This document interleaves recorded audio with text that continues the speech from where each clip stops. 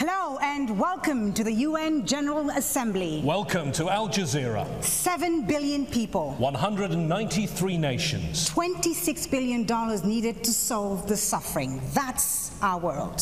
70 years after the UN was created, the next Secretary General needs to confront crisis out there. While leading reform in here. Tonight, in the first ever live televised debate, we'll hear from diplomats and the global community affected by their decisions. And we'll hear from the men and women who believe they're ready to take over from Ban Ki moon. 12 candidates are vying for the post of UN Secretary General. 10 of them are with us here today on Al Jazeera. And we're joined first by a panel of five of them. Let me introduce them to you. We start with Vesna Pusic.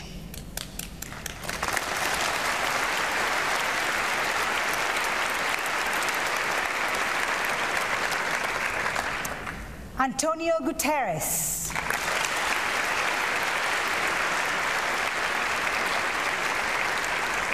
Susana Malcorra.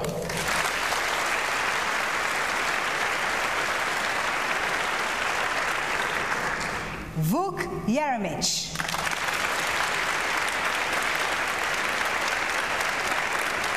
And Natalia Gherman.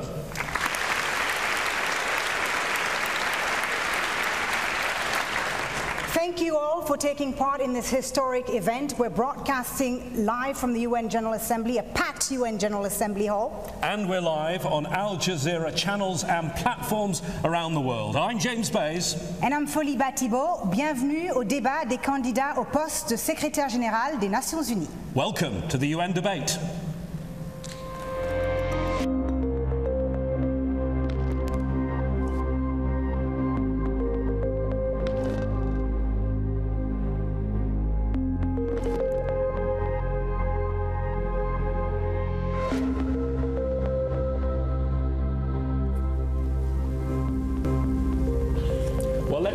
Let's get things started. And while, the way we're going to start this is hearing from each of the candidates about themselves and why they want to be the Secretary General of the United Nations. Candidates, you're going to get 90 seconds for this answer to make your pitch to set out your stall.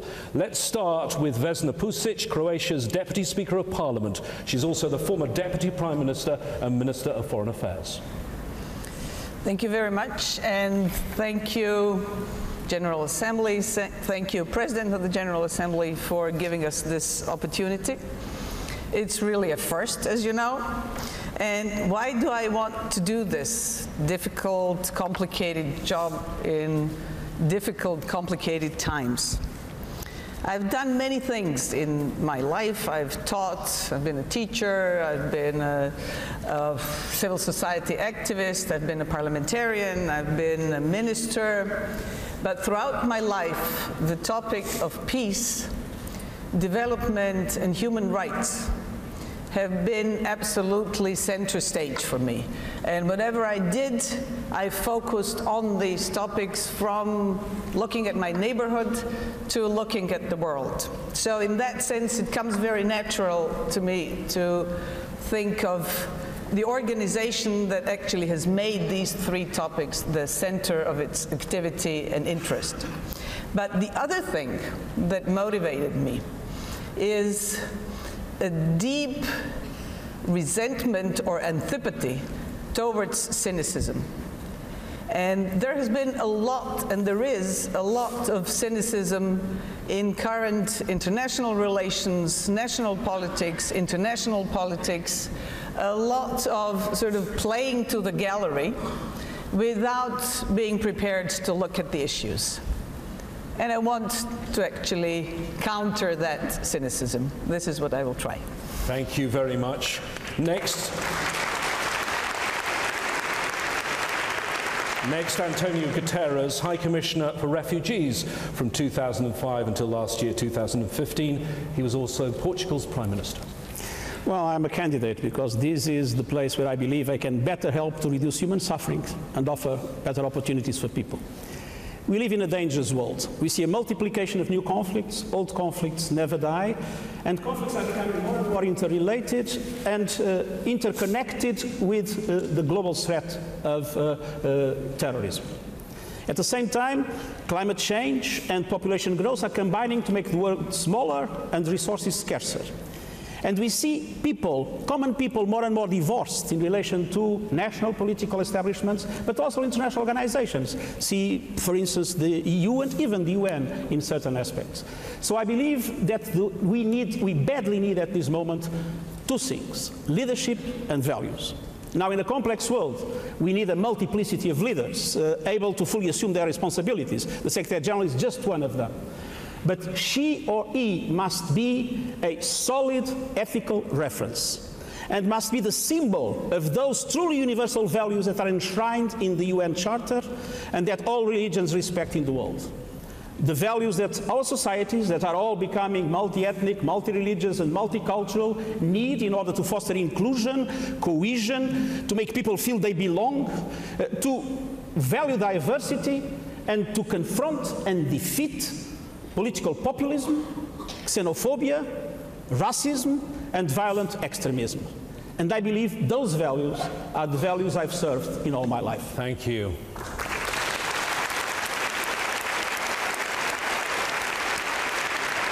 Susana Malcorra is Argentina's Minister of Foreign Affairs. She was also chef de cabinet for Secretary General of the United Nations, uh, Ban Ki-moon. That, for those that don't know, is effectively the Chief of Staff. Thank you and good evening to everybody. You know, I came to the United Nations 12 years ago without fully grasping what the United Nations means to the world. And I realized then that in today's complex landscape, the needs and demands of communities and peoples go far beyond their frontiers. So that means that the world demands today a United Nations that is closer to the people, much closer, that puts people and planet up front, and that is driven by the reality of issues and the need to deliver results, a results-driven organization. In my view, to rise to meet the world's expectations, this United Nations requires a Secretary General with the courage to lead, the humility to listen, and the readiness to partner. And I think I am that person.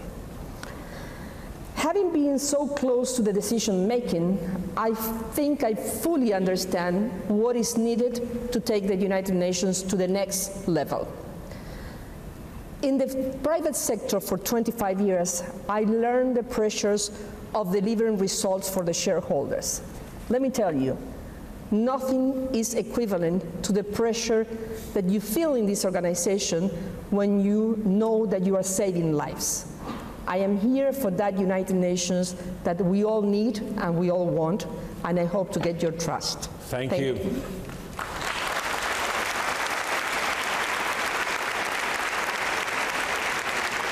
Vuk Jeremic served as the president of the 67th session of the United Nations General Assembly. He was also the foreign minister of Serbia.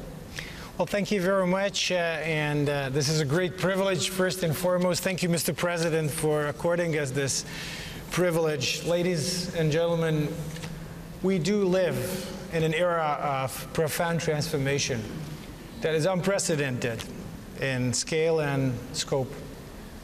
And most of the challenges that are facing humanity in the 21st century are essentially global in nature. There's only one organization that we are going to have in our lifetime where we can hope to come together and address them decisively, and this is the United Nations. Now, not all is well at the United Nations, I'm afraid. There's a growing perception that some historic achievements made by this organization are becoming more and more overshadowed by the sense of stagnation and failure. Now, we've got to do something about it, and we've got to do it fast. I believe this is not a time for high rhetoric. I believe this is time for decisive action. And to that end, I decided to put forward a detailed public policy platform which I made publicly available for those of you who do not know. It contains 53 concrete commitments that I am prepared to carry out from day one in the fields of sustainable development, climate change, conflict prevention and peace operations, human rights and humanitarian relief, and the organization reform itself. I believe we need to change. I, need to, I, I believe we need to have a clear plan on how to do it. I believe I have a plan on how to do it, and that's why I'm here. Thank you very much indeed.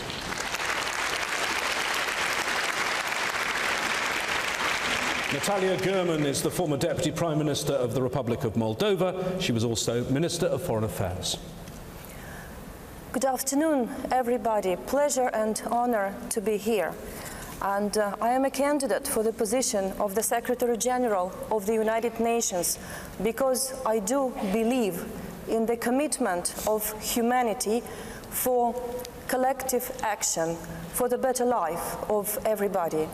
And I'm absolutely convinced uh, that uh, the United Nations is uh, the only, the preeminent international organization which we can use to deliver on this commitment. And uh, I also trust the power of dialogue and the power of persuasion. As Foreign Minister of the Republic of Moldova, I had only diplomacy and dialogue to help establish a place for my country in the system of international affairs. And I also bring the first-hand experience of identifying the common ground, even amidst geopolitical tensions, where others might see only differences that serve nobody. And even if I am aware that uh, very often a Secretary General should manage disunity, I think we should all strive for finding common ground and finding unity. And we need this unity whether we are to stop wars and conflicts, uh, tackle the scourge of international terrorism, work on international development or ensure the highest standards of dignity. This experience I am bringing to the service of the organization and to the service of humanity. Thank, Thank you. you.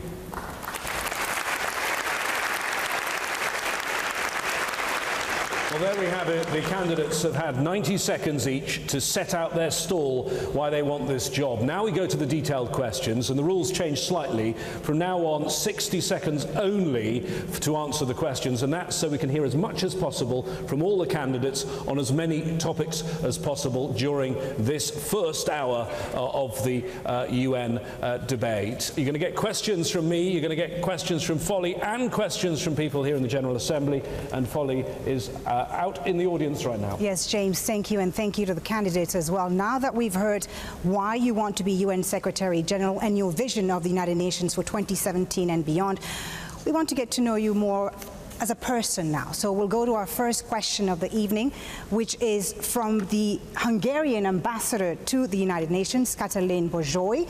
Thank you so much. Your question to the candidates. Nice to see you. My question is, what kind of leadership is needed today? What do you think what the UN needs today and what the world needs today as a leader here in the United Nations? And if elected, how would you like to translate what we do here in the UN to the outside world? In the world of communication, how would you really make understandable the importance of our work? Thank, Thank you, you very much, Ambassador, for your question. A very interesting and important question, which we'll put to Ms. Vesna Pusic first. A question about leadership style first. Uh, I imagine it's a question that you've been asked many times, a bit of a cliche question. Do you see yourself more as a secretary or a general?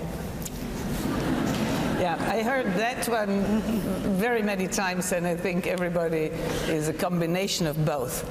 But the specific question, um, what kind of leadership? And I think this is a very important question because what happened over the past 20 years, I think that the criteria have actually been lowered and that the sort of fast track for populist um, has created an atmosphere in which catchy phrases and lack of responsibility is the name of the game. You have to be popular. You have to th say things that will sort of catch people attention or scare them. Mm. I don't think that's the leadership we need. I think the leadership we need is deep conviction, vision, perseverance and courage. And sometimes courage to be even in the minority of one. Because sometimes when you're in the minority of one, over time, if you know that you're going in the right direction, um, you'll get support. Thank you. Thank you very much for your response, Ms. Pusic. Uh, the same question to you, Natalia Gherman, about your leadership style. What kind of a diplomat are you going to be as a Secretary General? Are you going to be a quiet diplomat, as we've seen in the last eight years at the UN, or are you going to be more of an aggressive one? Thank you. On uh, the issue of Secretary or General, I made myself very clear at the informal debates in the General Assembly. I'm planning uh, to be the General of the Secretariat and UN system and the Secretary of the Member States. And this is the leadership that I have in mind because uh, it does require a change of the mindset. You have to be proactive and not reactive, and you have to be this uh, moral commitment and moral authority to articulate to the citizens of the world the problems and the challenges uh, that otherwise would never be articulated. Either we are speaking about the sustaining peace or uh, working on uh, delivering on uh, sustainable development goals or preserving the standards for human rights and uh, human dignity all, um, all over the world. So uh, from this particular point of view, I do believe that this time we don't have the right to fail. We have to succeed in order for the future generation to be able to continue and hopefully live a better life. Thank you. Uh, next question for Antonio Guterres, and um, it's a question about the skills of the Secretary General, and you know the current Secretary General much better than me, but I've interviewed him a fair few times. He's, he's a tireless worker, but many have criticised perhaps his communication skills. How are you going to communicate the message of the United Nations? And how perhaps are you going to use the new forms of communication? For example, social media, which maybe allows you to communicate beyond uh, the halls of the UN directly with the people. Well, first of all, uh, I do not intend to criticize my predecessor. I think he has made a fantastic uh, effort and, and a, re a remarkable job.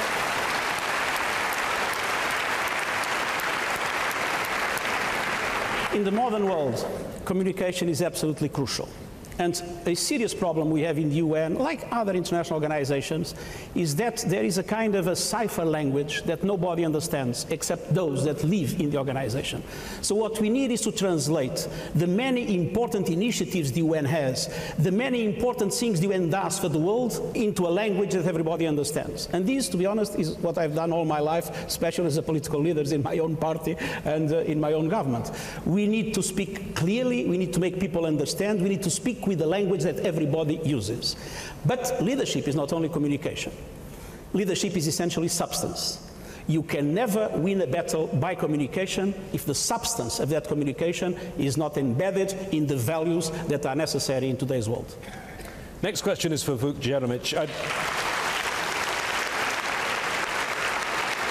I'd like to perhaps see if you have a different perspective because I know your country quite well. And if you go back not that far back in history. I was reporting from your country. It was bombed for 99 days uh, uh, by NATO. I know that wasn't authorized by the UN. At one stage, your country under Milosevic was the pariah country. Does that give you a different perspective on the international community and the way it works? Well, basically, uh, when I was a young man, I witnessed the consequences of the catastrophic failure in diplomacy and a, a surge in poverty and uh, absence of the rule of law. So uh, I witnessed it firsthand. And, uh, and as a young man, I did fight for democracy and for human rights myself. I worked hard so that Serbia together is a democracy. But today here, I am uh, speaking for the wider audience and about the wider questions that relate to what kind of leadership we need in the United Nations. I believe we do need an action-oriented leadership people with concrete plans. I think that uh, having served in the UN, having been elected to preside over this chamber a few years ago, I've heard too many UN speeches. And I think this is not a time for high rhetoric, but action and concrete goals. And I think that in order to be able to uh, inspire again humanity in the way that this organization was inspiring it in the last century, we need to make it more transparent and more accessible to the peoples of the world. Thank you very much for that answer. We are going to move on to our next section of questions, which is about conflict and crisis. And there is so much to talk about here when you uh, look at uh, the situation in the Middle East, in Syria, in Iraq, in Libya. We'll, co we'll come to some of those in a moment, but I think we should start with the situation that's in the news right now, the, the appalling things we've seen in the last five days in South Sudan. Susana Malcorra, bloodbath on the streets, over 300 people dead, and yet there's UN peacekeepers there, plenty of UN peacekeepers. They're locked down in their bases. Should they be locked down in their bases, or should they be doing what they're mandated to do, protect people? What's your view? Well, first of all, it's uh, deeply disturbing what is happening in South Sudan. That nation was brought to life through the fight of their people, but also with the full support of the international community and the United Nations. Otherwise, it wouldn't have happened. And what you see there is a total lack of leadership to take the nation forward. I mean, the infighting between the different leaders is the reason for this. It's the notion of not having a view for the future of their people. I think it's clear that the mission in South Sudan has a mandate to protect people. It's not mandated to fight or to, to see how to stop the fighting between these two parties within the party. But it's also true that there is a need for a solution to that. So my sense, and I understand that's the case, the Security Council is discussing this. We need to find a way to strengthen and to find alternatives to what is in the ground today. But in the end, it is in the hands of the leadership of South Sudan to decide that they own that country and they owe it to their own people. Next question to Vesna Prusic. Uh, the UN went there to try and nurture the world's newest country. What went wrong? How much of the blame is on the local political players? Is there any blame on the United Nations in your view? I guess there is uh, sufficient blame to go around, actually. Um, something that I think happened, and not only in South Sudan, but I, th I think we've seen it uh, in many places around the world, that um, there was not, no sufficient understanding of the nature of that society and the nature of that country. I remember that um, you know, many years ago, uh, when the situation in Iraq was discussed, there were some people who weren't actually aware that there were, there were Shia and Sunni in Iraq. And to some extent, this is also the situation in South Sudan. It is a divided society. It always was a divided society, and it was approached to some extent as a society that when they see institutions of democracy, they will all fall in, into place. This is not the case. You need much more, not only soldiers on the ground, but actually, you know, activists, politicians, people with hands-on being present in a country like that. Thank you very much for that. We are now going to take another question from one of our distinguished uh, guests here in uh, uh, the audience on the floor of the UN General Assembly. And we're going to hear from the Justice Minister of Senegal now, Mr. Sidiki Kaba, who is going to be speaking in French. And I will translate afterwards uh, the question to you. Merci. La justice internationale est considérée par certains comme sélective et discriminatoire à l'endroit de l'Afrique dont les représentants sont les plus nombreux devant la Cour pénale internationale. Quelles actions comptez-vous entreprendre pour changer cette perception négative? Et que comptez-vous faire pour convaincre les grandes puissances et les autres États concernés qui n'ont pas encore ratifié le statut de Rome pour qu'ils le fassent afin qu'il y ait une justice universelle effective. Je vous remercie. Mr. Kaba, thank you very much. A very important question indeed for the candidates. Mr. Kaba asks, he says international justice is seen by many as selective and discriminatory against Africans who make up the largest uh, number of nationals brought before the International Criminal Court in The Hague. What actions are you going to take as Secretary General to change these negative percep perceptions? And how do you convince states that haven't ratified the Rome Statute to do so for there to be effective universal justice? Mr. Guterres, you may answer that question. How do you address the perceived bias against Africa at the International Criminal Court? Do you mind repeating? Because You- you- I think Mr. Guterres is having a little difficulty hearing, Yes. hear- hearing some of the questions. The- but the it's question- about bias on the International Criminal Court and bias against Africa. Euh, Je dois dire que je crois que la Cour internationale, euh, euh, la Cour criminelle internationale est un pas extrêmement important dans le développement d'une justice pénale internationale et de l'état de droit au niveau global. Et je crois qu'il faut dire euh, à l'Afrique que c'est à l'honneur de l'Afrique le fait que la plupart des pays euh, qui ont ratifié euh, euh, le, traité et qui ont des problèmes, ce sont des pays africains.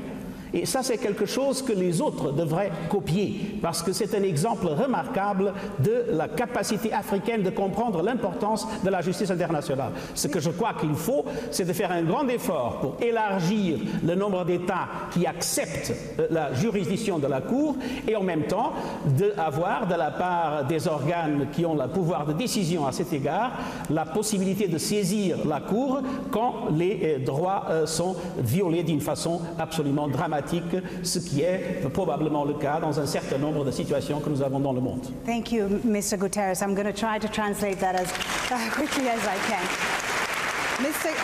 Mr. Guterres says actually Africa is an example for other countries to follow, that it's in Africa's interest to be in the International Criminal Court, and that more countries should follow Africa's suit.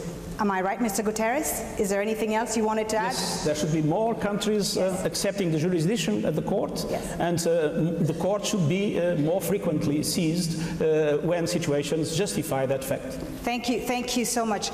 Mr. Jeremic, the same question to you. Some African countries have threatened to pull out of the ICC, in fact, because of this perceived bias against African leaders. How do you convince them not to? Euh, je vous remercie, Monsieur le Ministre. Bonne question. Uh, But I am asked to answer it in English according to the rules, I believe. I think Thank we you. prefer to have you all in English. I did actually uh, take up this uh, important and delicate question when I served as president of the United Nations General Assembly. And uh, I did call for the first ever thematic debate here in uh, this chamber on the role of international criminal justice in advancing peace and reconciliation. It turned out to be a uh, pretty vigorous debate, and uh, I had uh, said quite openly in my uh, General Assembly hearings that I thought that we could have done a better preparation for this. But I do believe in the critical significance of uh, this issue because uh, international justice in the uh, international courts, uh, in my opinion, are an essential tool of uh, the foreign uh, community, of the international community in our era. I am acutely aware of the sensitivities that Africans uh, have towards it. I think that uh, we need to engage more and more deeply and in a more qualitative way, especially with the African member states, in order to make sure that a future international criminal justice is uh, more perfect than the one that we have today. Thank you very much for your response, Mr. Jeremic. Uh, Ms. Malcorra, the same question to you about the International Criminal Court's perceived bias against African countries, and also how do we get uh, the Security Council to perhaps be more favorable in certain situations to ICC, to the ICC. We saw recently a vote on Syria, uh, referring the Syria uh, war to the International Criminal Court, which was turned down by uh, some members of the Security Council. It seems, you know, many Africans will tell you when it comes to Africa, there's unanimity on the, on the Security Council to refer cases to the ICC, but not when it comes to other countries. Well, it's, it's clear that the minute a country, a region, a sub-region believes to be targeted by justice, justice is not working. So my view is that we need to, first of all, engage with the African countries the way it has been done in the past, uh, remember in the case of the Kenyan situation, to see what are the adjustments and the changes that could be included in the Rome Statute that will satisfy the needs and the perspective of Africa. But more than that, I think it is very significant to, that the, the organization, the Security Council, at large takes into account that there is only one ruler to measure the world. And it cannot be changed and it cannot be adapted to different regions and viewed in different ways it cannot be the case that differences among the Security Council cause this type of differentiated ruler to measure. And I think Africa has to engage more, not to disengage, because that will be against the notion of justice, universal justice that we all seek. Natalia Gherman, thank you so much, Ms. Malcorra, for that. Natalia Gherman, your views your views on, on the International Criminal Court, its role in international justice, and whether we can convince the Security Council on Syria, for instance, to refer the Syria war to the uh, ICC, and if not the ICC, what other alternatives are there? Well, let me tell you the following thing. I'm absolutely convinced that uh, there is no peace without justice, and there is no justice without peace. And uh, having said that, I would like to continue that, uh, well, justice is uh, peace for past and present generations, and uh, peace is justice for future generations. And if we are committed to work together for a sustainable peace, we have to really focus and concentrate our efforts to deploy all available mechanisms because, as I said, peace is justice for our descendants. And uh, I'm uh, absolutely sure that more debate and also bringing it for the consideration of the Security Council of the United uh, Nations might prove uh, not only useful but uh, actually very helpful in order to improve the current situation, which is absolutely regrettable if we are speaking uh, about Syria. Vesna Pusic, if we can have your perspective on this same issue and the problems here with referral to the International Criminal Court, because there are only certain ways of doing it, and it seems that in some cases the Security Council is prepared to take action. Other places where they seem to have some of them a vested interest, they're not. It's a problem, isn't it? It is a problem. Uh, there are a lot of problems because the system is not perfect but it's the best we've got. And I absolutely agree that instead of opting out or not participating in the International Criminal Court, on the contrary, as many countries as possible should join. And it will not be perfect. And I come from a country uh, for which the Security Council has actually established a specialized tribunal to process uh, the war crimes that were committed in my country during the war, but also by everybody who participated in the Balkans, Balkan wars of the 90s. Uh, was it perfect? Far from it. Was it better than not having it? Absolutely. It was really better. Did it reach everybody who should have been reached? No. But it reached some. And it showed that there is always a great danger that in the end, if you commit war crimes, you will be caught. And that's better than nothing. Thank you. Okay. Thank you.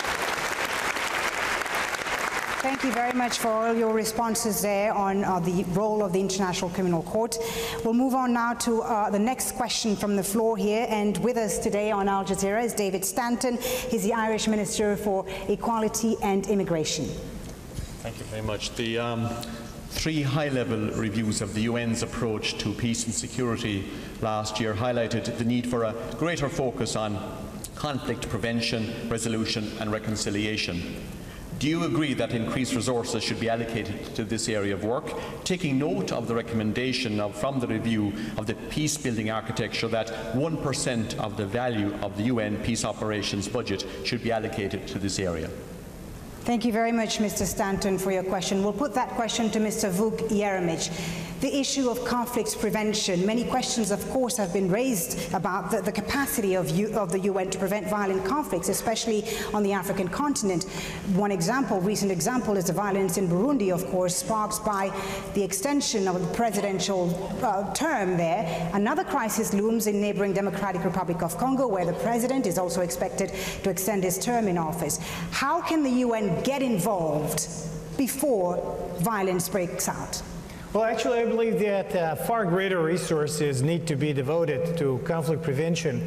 And uh, it's not only enough, in my view, to say, yes, we need to do more of preventive diplomacy because it's kind of obvious, but also to lay out concrete options as to what to do about it. And uh, in my platform, I lay out a very detailed plan on uh, how to, for example, move 20% of staff from the New York offices down to the field so that uh, there's less paper shuffling in New York and more engagement uh, on the ground with the, the parties so that the, uh, the conflict is prevented. But uh, I think that the essential element of the future peace uh, operations arm of the United Nations needs to involve a significant overhaul of the peace operations. I think that we need to create an entirely new stabilization uh, generation, new generation of stabilization missions that are going to be able to have a much more robust rules of engagement and that are not going to be in a situation that, uh, for example, the guys in South Sudan were uh, over the last two years, unless we transform into something much more robust what we have as a peacekeeping arm of the United Nations, uh, we're not going to be able to, uh, to, see, to serve the nations in the 21st century. Vuk Jeremic, thank you very much. We're talking about conflict prevention. Let me try and use, Natalia Gherman, a concrete example, and perhaps it shows the difficulties here diplomats I've spoken to say what they see in the Democratic Republic of Congo with an election coming up and it's not clear whether President Kabila will stand in that election as a slow motion car crash but no one knows how to stop it. There is a problem here, isn't there, when conflict prevention and national sovereignty clash. Well, indeed, if we do look at the conclusions uh, of the review of the peace-building architecture, we all agreed that we need to change the mindset in favor of uh, prevention. And prevention uh, needs to be very clearly articulated and spoken about. And uh, this is uh, where I see one of the major tasks of the Secretary General of the United Nations, also including alerting uh, about the dangers of doing nothing, of not doing enough. And um, countries and communities where we invested in peacekeeping relapsing uh, into conflict or tensions, uh, such as uh, the case that you brought. But you also have to think about sustainable peace. And uh, sustainable peace does cost. So there, we have to commit enough resources uh, we have to make sure that we have the standby arrangements and we work early enough on human rights and on development. We tackle the issue of poverty, inequality, disenfranchisement of youth, and we do involve uh, women into this peace building effort. I think now if we look into that, we might as well obtain uh, better results, but working on communities where they relapsed, relapsed back into uh, conflict, I think we have to use the mechanisms um, uh, that I mentioned and uh, make sure that we engage uh, much more proactively. Okay, Antonio Guterres, the same issue. You've heard other people speak tell me what you agree with and what, what you think uh, needs a different approach. I think we have two basic problems. First, there is no TV cameras where prevention is done. And so there is no attention and no money. Uh, the TV cameras are where the crisis erupts. And so there is a lot more attention to peacekeeping and to conflict resolution than to prevention and then to peace building. And what I believe we need is to close this separation, is, is not to have this fragmentation. Prevention, conflict resolution, peacekeeping, peace building, long-term development, but to be a continuum of peace and to have a continuum action with the same strategy and with the same involvement and the same priority. And second, you mentioned there is a question of different interpretations within the membership about the role of prevention. And some countries tend to consider that it is essential to use a number of tools for early prevention and early action. And some countries tend to say that be careful because there is a risk of interfering in the sovereignty of a state.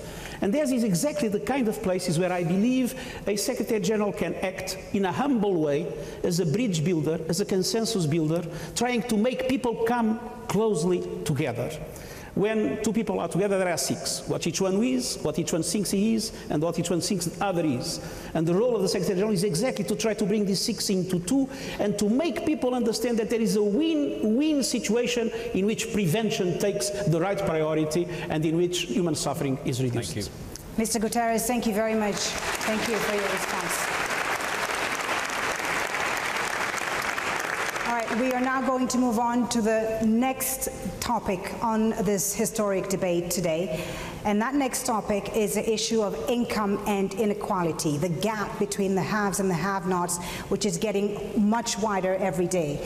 Now, at issue, of course, and, and the consequences of this is the mass migration of people, as we've seen from North Africa and Sub-Saharan Africa into Europe, from the Middle East into Europe, also of concern, human rights, and uh, gender issues, as well as the, the, question of climate change and how it affects uh, the most vulnerable people in the world. So let's hear now from one uh, more uh, guest here with us today on Al Jazeera. We have uh, Bahamas' uh, Minister of Foreign Affairs, Ms. Sharon Brennen Haylock. Thank you. Please stand up to ask your question. Thank you. I believe you have a question on climate change, precisely. That's correct. And just a small correction, the Director General of Foreign Affairs from Bahamas. Apologies. Thank you. Thank you. So Bahamas is a small island developing state, and like many other small island developing states, we have to balance human rights concerns with development challenges, especially a grave challenge like climate change. Hmm. So my question to the candidates are, if you're elected, what do you envisage is the role of the Secretary General in advancing climate change action and converging this with the Sustainable Development Agenda and human rights? Thank you. Thank you, Thank you very much for that question. Uh, Ms. Pusic, I'll, I'll, let you answer that question. Of course, we had the historic climate change uh, deal in Paris in 2015, but this was, of course, only the first step in a very long and complicated process. So how do you as Secretary General make sure that each country that signed up to that agreement obey and respect their engagement? I believe that you need public opinion as a very close ally. Um, I took climate change really, really seriously uh, for the first time when I saw the movie The Uncomfortable Truth. And there is nothing like actually seeing the effects of climate change. I was also deeply touched and, and moved by uh, the discussions I had here with people from small island states, which showed to me how climate change is not a long-term threat, something we have to be careful with and bear in mind because eventually, sometime in the future, it's going to have an effect. It's an immediate threat. It's like nuclear weapons on, on some level because it's actually raising the level of the sea where they live. So uh, I would say public opinion is an extremely important ally here. Make people see the effects and get support to act uh, with member states. Would you as, sorry, apologies, just a follow up quickly on that. Would you as Secretary General name and shame countries who don't uh, uh obey and who don't respect their engagements? I would rather go and talk to leaders and societies but also make sure that this is seen on film, on uh, documentaries, on data, that this is something that people can relate to as reality rather than an abstract information. Thank you. Vuk we're going to ask you about this too. Last year, very historic. Yes, the climate change deal and the sustainable development goals, but of course all of these things that people commit to are only good if they live up to them. As Secretary General, how forthright are you going to be? Well, as a matter of fact, I believe that this is the overarching challenge of our generation. And that the two historic challenges, two historic uh, documents that were uh, reached uh, last year that uh, one of the first and foremost roles for the Secretary General is to make sure that they become a reality. And uh, this is why I commit basically half of my platform to some concrete action that I intend to take to this end. But I agree with Vesna that uh, Secretary General has to be a cheerleader uh, in chief when it comes to the fulfillment of this. But it has to be also very oriented towards the nationally determined contributions, the NDCs that were agreed when it comes to uh, Paris in particular. So uh, I think uh, it's very obvious that not all the countries can reach uh, their uh, contributions so easily. I think that the role of the United Nations and UN uh, country teams in particular need to be to engage with those countries to make sure that their nationally determined contributions are reached. And, uh, but I think that we also need to engage with the private sector because the fusion of green technologies and uh, general uh, partnership when it comes to this generational issue uh, has to be put in place in order for these two grand agreements to be more than just a piece of paper next year. Susana Malcorra, these are things that are beyond the headlines. They were headlines when it happened, when those deals happened, but these are more important than some of the stories we do day to day on the news. Tell, tell us your perspective. Well, you know, it's very interesting because that shows the United Nations in different aspects. One is what happens in these rooms, in these halls, that sometimes shapes the future of the world if well done. And that is an amazing contribution of the United Nations.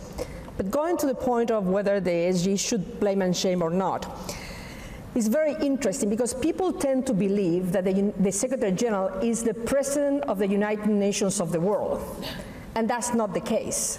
He is or she is just the Secretary General that serves 193 countries and has to have an inspirational leadership that gives the, uh, the moral stature that for him or for her to move the agenda forward that has been agreed in these halls. I was very struck when we signed the uh, commitment of the, the agreement here in this very same hall a few months ago that everybody agreed that it was short of what we need to do. So for me, the pressure has to be there. The Secretary General has a role to retain that pressure. And without any doubt, there is a need to follow up with a measurement system where member states challenge themselves and measure themselves objectively. Thank you very much. Uh, our next round of questions are called Reform and Relevance. We're here at the United Nations, 70 years old, a body designed after World War II. Is it still fit for purpose? Folly? Yes, well, and we have on that topic a question from the Japanese ambassador to the United Nations, uh, Mr. Koro Bessho. Please stand up. Thank you very much. Thanks for being here. Your question to our candidates today. Yes, um, today we've already talked about the need for the United Nations to reform itself, and I think at the core of that is the need for the Security Council to reform itself. It has been called the unfinished agenda of the United Nations. Past Secretary Generals like Mr. Boutros-Ghali and Mr. Kofi Annan have taken initiatives as Secretary General to move forward the process of Security Council reform. What are your views and how would you or would you take initiative as Secretary General to move this process forward? Thank you very much, Ambassador, for a very important question, in fact, because many people will tell you that the United Nations really does not represent the geopolitical realities of our world today. I mean, both Latin America and Africa do not have permanent seats on the Security Council. As the Ambassador said, there have been many reforms proposed since 1993 to change that. So, uh, to um, uh, Ms. Gherman, perhaps first, what would you do to move the needle on Security Council reform? From my point of view, to be fit for purpose means um, to deliver on the values and principles reflected in the Charter of the United Nations. And this organization uh, has proved itself to be a very adaptable body and uh, adaptable mechanism reforming itself when uh, the need was there. So in case we are not fit for purpose, meaning we are not delivering on the commitments uh, reflected in the Charter, we will continue the reform process. And uh, it would uh, involve, uh, obviously, those bodies and uh, those units, programs, agencies in the United Nations system that need to be reformed to deliver on the commitments reflected in the Charter. Antonio Guterres, I'd like your take on this. And how difficult is this issue for a Secretary General talking about reform of the Security Council? It gets to that quite difficult relationship between the Secretary General and the Security Council. I would like to clarify that I am not here as a candidate for the Security Council, but as a candidate for Secretary General. and uh, um, having said so, uh, I would repeat what Kofi Annan said. Kofi Annan said that the reform of the United Nations would not be completed without the reform of the Security Council. I think he was absolutely right. And I would recall that member states in 2005 have uh, approved a resolution saying that, um, and it was a summit, uh, that there would be an early reform of the Security Council. But one thing is absolutely clear. The reform of the Security Council will only be possible if the membership wants that reform and if the membership creates the consensus for that reform. I think that the Secretary General would welcome anything that would move in that direction and would very, be very happy to support it, but there is no way the Secretary General can replace the membership on this issue, as in many other issues, and this debate proved that uh, the Secretary General, as it was said, is not the Commander in Chief of the UN. It is essential that all bodies of the UN are able to work together better in the future than sometimes in the past. Thank you very much. Vuk you have that very weighty manifesto. What does it say on this issue? Well, this is not a secret. Uh, I'm actually a supporter of the UN Security Council reform, Mr. Ambassador, and uh, I actually dared putting it down in writing. We'll see how it works out when it comes to the vote in the Security Council. But I do believe that today is not 1945.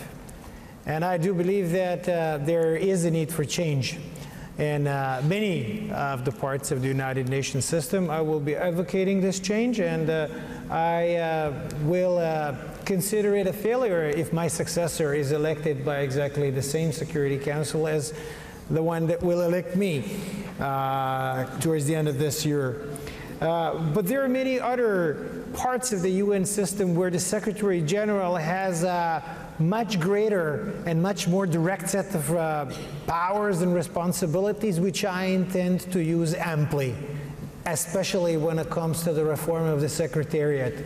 Uh, I list them in detail in my platform and hopefully upon establishing credibility uh, in reforming its own environment, the Secretary General could be a more decisive vote and voice in pushing for the Security Council reform, which I agree with Mr. Guterres, is first and foremost up to the member states to decide. Thank you. Susana Malcorra, your take on this difficult issue for a Secretary General? Well, definitely, it's, it's well known to everybody that this Security Council does not represent the balance of power of the 21st century. It's also true that there has been already a definition of what are the variables, what are the areas that can be discussed to change the Security Council. We talk about number of members, the categories, different categories, veto power, the length of tenure, and the uh, methods of work. So there are different things that are on the table. There, there is not only a single thing like the, the number of member states represented in the Security Council. I think, as Antonio said, that there is a need for mem the membership to engage in this and to open up to these different variables that are there and to think through what can be a consensus solution. Let's not hide behind the notion of the Security Council as it is today not being able to reform. The reality is that this body, the General Assembly, is the one that has to come to an agreement on how to move forward. And these are the elements of that agreement that need to be worked, and the Secretary General should help in any way that he or she can do it, but it's in this body the solution. Thank you very much, Ms. Malcorra, for your response. And thank you for all your answers, in fact, on the issue of Security Council reform, because it's a, it's a very important uh, issue, obviously, for the next UN Secretary General. We're going to take another question now, this time not from a diplomat, but from a member of our global community, from civil society. And this is Sister Teresa Kotturan. She is from India, and she's going to ask you a question. Please stand up. My question is, what steps will you take to reform the United Nations and to appoint more women to the UN system to bridge the gender gap.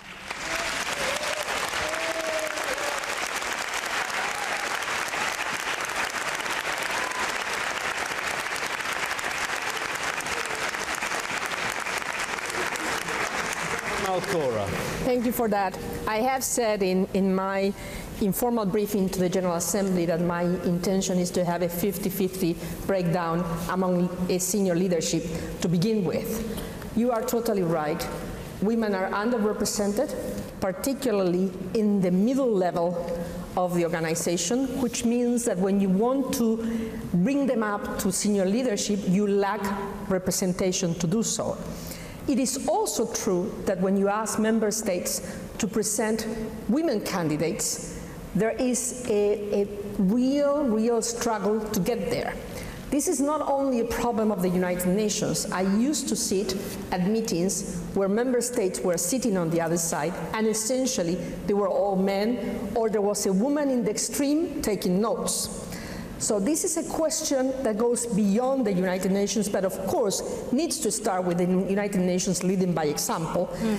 is the notion of women not being able to break that ceiling and particularly not to be able to do it in positions of power in peace and security, which is extremely essential to move this agenda of getting to the right place with reconciliation that only women can really work. Pusic. Oh, Vesna Pusic, sorry. I was actually going to direct my question to Mr. Jeremic because I, I want to hear him on the issue of, uh, of women uh, before we go to, to Ms. Pusic. Sorry. Uh, Mr. Jeremic, we're talking about women. There's a, a strong push, of course, this year uh, for a woman to lead the United Nations because this has never happened in history. Is it time for a woman to become Secretary General or would a feminist man be good enough?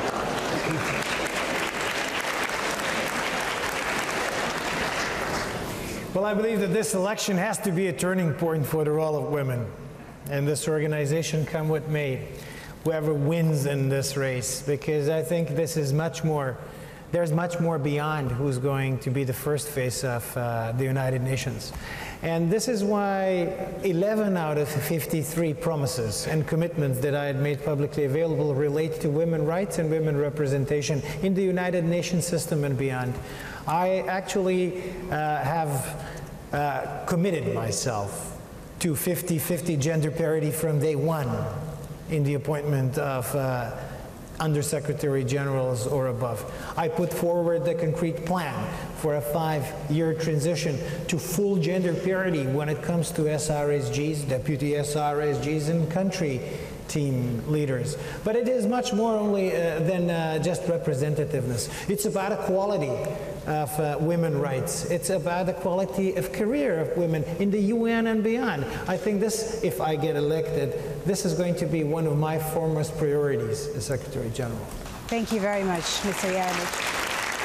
Ms. Antonio Guterres, how would you advance gender parity within the United Nations? I think there are three key questions. First, to move in all our policies from a pr perspective of simple protection to a perspective of empowerment of women. And this is true across the board, in development, in humanitarian, in human rights, in all aspects. Empowerment is the way. The, the protection is absolutely essential, especially when we see those horrible violations, namely when peacekeepers themselves violate women, but protection will only work fully when empowerment will be the priority. Second is to mainstream gender on all policies instead of just focus on women. And third, in the appointments, to have a policy of parity. And again, in my vision statement, I said very clearly we need to have a clear roadmap with benchmarks and targets because we have already that policy, but it didn't work. So now we need to be clear benchmarks, targets, and independent evaluations in the way appointments are made from top to bottom, starting by 50 50 at top level. Okay. Thank you very much, uh, Antonio Guterres may be worth reminding me as I ask uh, Natalia Gherman for her take that back in 1996 the UN General Assembly in a resolution asked for a 50-50 split by, between men and women for all top jobs by the year 2000 and currently the figure works out at just 22%. Hmm. What's your view on this issue? I believe that the best proof that we are determined to change the current situation would be the selection of a woman as next Secretary General of the United Nations.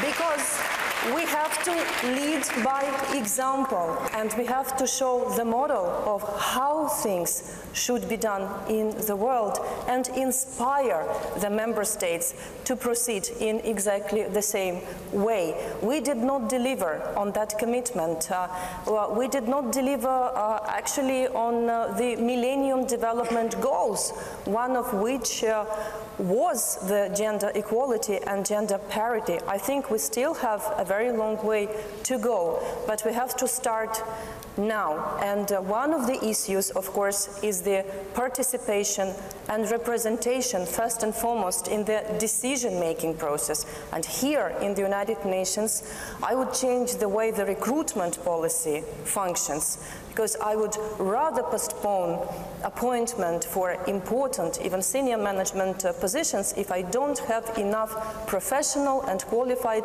women candidates. And I would appeal to the member state to present me with good lists of such female candidates. Thank you very much. Now, we're coming very much to the end, and because we're running out of time, I do want to give you all a last word. We're going to cut it now, the time down to 30 seconds, and we'll start with Vesna Pusic your final thoughts. Uh, I will not make my final statement now. I will answer the question you have not asked me, but I wish you had. So I will answer the question about um, women in positions, in, in, public positions. And uh, first, I happen to be a woman. I don't think this is enough. I happen to be a feminist, and I think this is important. And it's important not because, not because female experience of life is more important than male experience of life. But the UN was dominated for 70 years with 50% of experience of what life is. Thank and you. I think we need to add the other 50%. Antonio Guterres. Now, just to say that I had the enormous privilege to serve in the UN for more than 10 years as High Commissioner for Refugees. You can't imagine what it is to be able to devote myself to the most vulnerable of the, most, of the vulnerable. But you can't imagine the terrible frustration it is to see people suffering and not to have a solution for them. And this was the reason why I believe I had the obligation to present myself as a candidate to Secretary General. Susana Malcorra. This is a time where we need to inspire. The United Nations needs to inspire its own people, its own staff, and it needs to inspire the world, the people outside. Because we know that without the United Nations, we have no option, we have no alternative. So I think we need a leader that can have that inspiration, that at the same time has the humbleness to listen and has the obsession to deliver. I think I can do that and having been at the center of the United Nations and the power making of the United Nations, I am convinced that I bring value added to. Vuk Well, uh, I'm afraid that we are not so lucky to be living in easy times, and that some of the challenges and some of the choices that we will have to make are going to be pretty difficult. But I do nonetheless have high hopes because I do believe in humans' resilience and I do believe in the United Nations. But if you think that we need here in this organization business as usual, and if you want more of the same old things, more of the same old faces, then I'm clearly not your candidate. But if you do share my hope of a rejuvenated, reinvigorated, agile, and transparent United Nations, then I ask you to support me so that we can try and together build an institution that we will feel proud to endow. Natalia Future Gherman, please. If I'm the next Secretary General of the United Nations, uh, I would never cease to articulate that whatever we do in this organization, we have one major ally and partner, and this is the people. And if we manage to bring back relevance of the United Nations to the people of the world, win their hearts and minds, uh, we have actually created this very strong and stable partnership, which translates into ownership. And if all of us feel ownership in the objectives of the United Nations, then uh, this will be the recipe for success. Thank you. Natalia Gherman, thank you very much.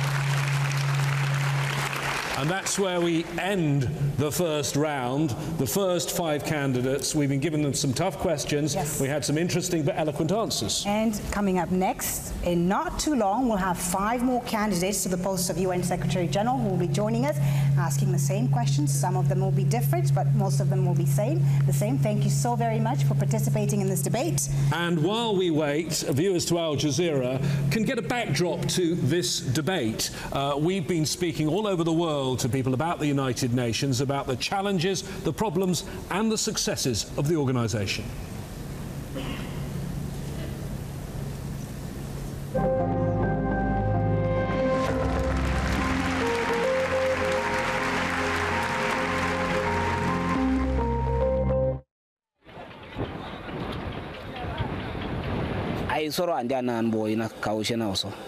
Life here is so difficult. You hardly make anything here among fellow refugees. One will be lucky to eat two meals a day here.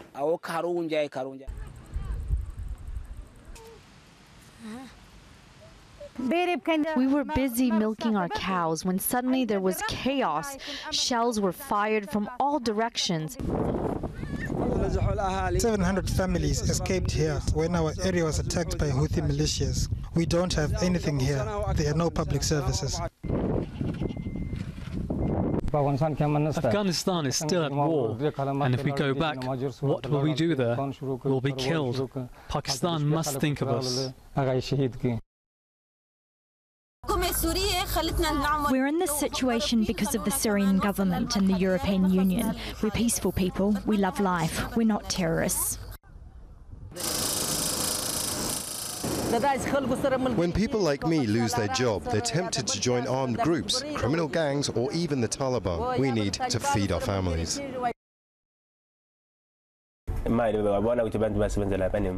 I know people I work for are very rich. It's painful to return every day to my place, but I have no choice. It's a better life than a life of crime.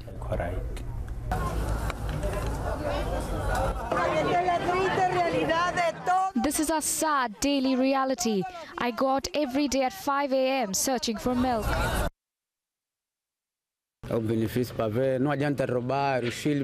I don't have a job. I have to do something to survive. So I go to the wild and catch animals. There are no hospitals. The nearest one is two hours away. We have to walk there, even at night. No one is coming to help us.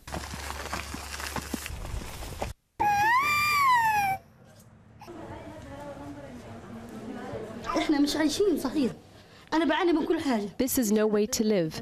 The water here isn't even fit for my daughters to bathe in.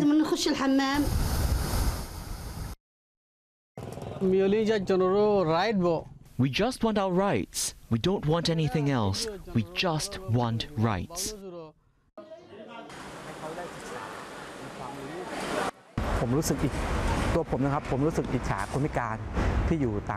I feel jealous of people with disabilities in developed countries, like Japan. All the disabled people have the same access to public transport.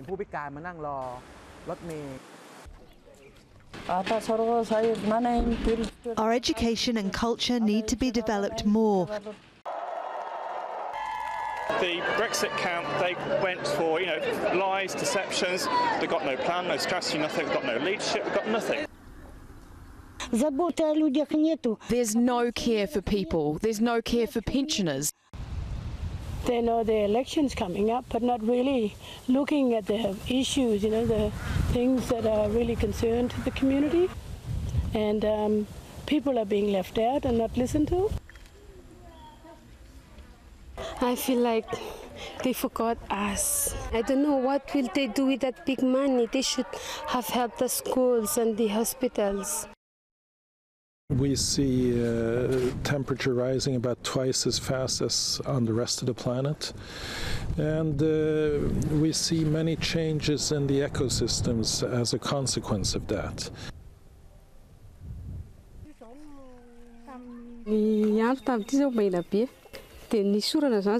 It should have been much greener by now. If it does not rain, my harvest will be bad and there will be food shortages.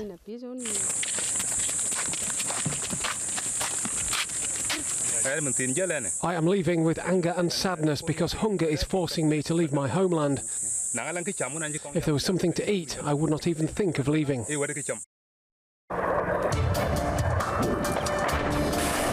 the space of 24 hours, more than 60 people died. We're from Aleppo. We came from death in Syria.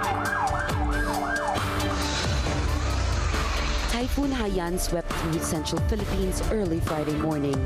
It destroyed everything in its path. This is not just about religion or ethnicity. At the heart of this is poverty.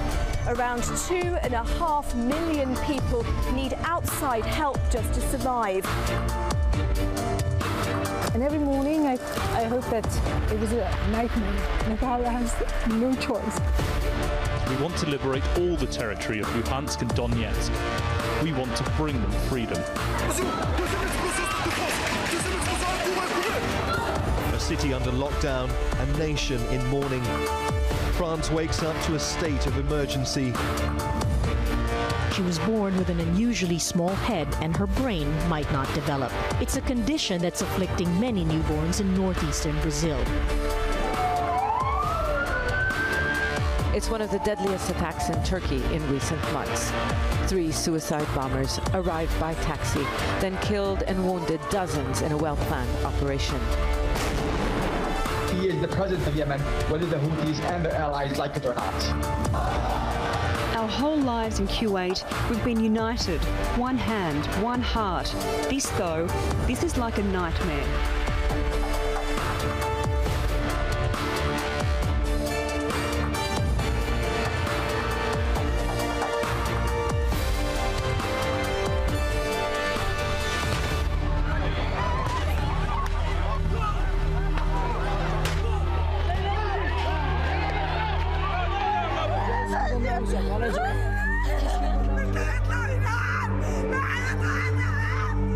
Terrorist. This is not terrorist. This is not terrorist. This is not terrorist. We are humans. Families in this part of South Sudan say they can't sleep out in the bush any longer.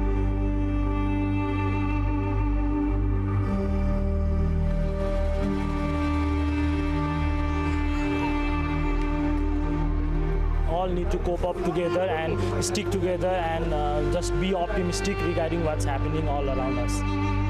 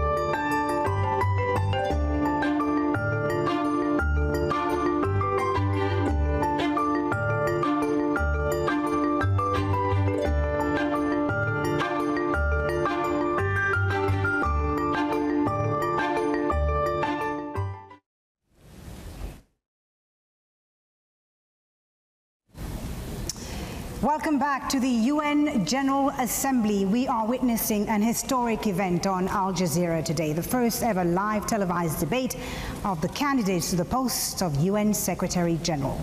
12 candidates in total are vying for the post to replace Ban Ki-moon in January of 2017. We have 10 of them with us on Al Jazeera. We've already heard from five of them who've given us their vision of the United Nations and what it should be. Now we have our next panel of five. And of course, there are lots of people watching this on the web and on TV. If you have a comment about what you're watching here, remember you can you can comment on uh, various social media platforms, hashtags AJUN debate and hashtag next Secretary General. The next five candidates are on the stage, and it's time that we introduced those five candidates to you. We start with Helen Clark.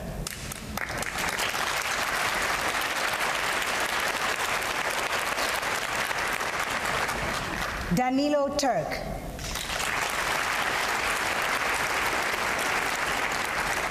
Christiana Figueres.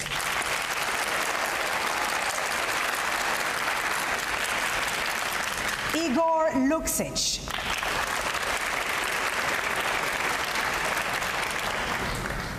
Irina Bokova. Thank you all for being here. Thank you for participating in this historic event. And let's get the second round of the UN debate underway.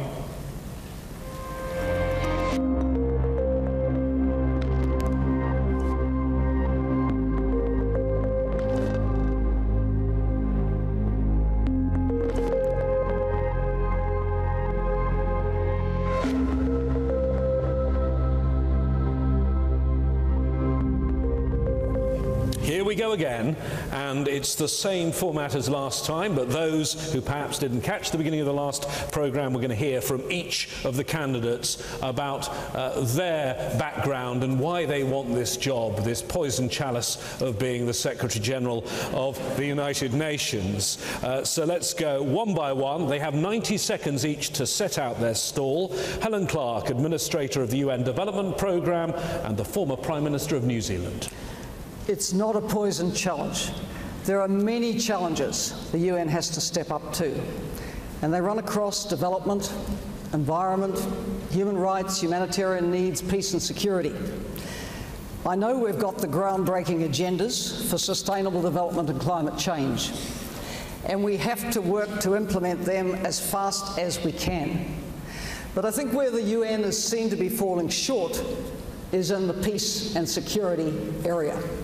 We have to get better at preventing conflict and resolving conflict.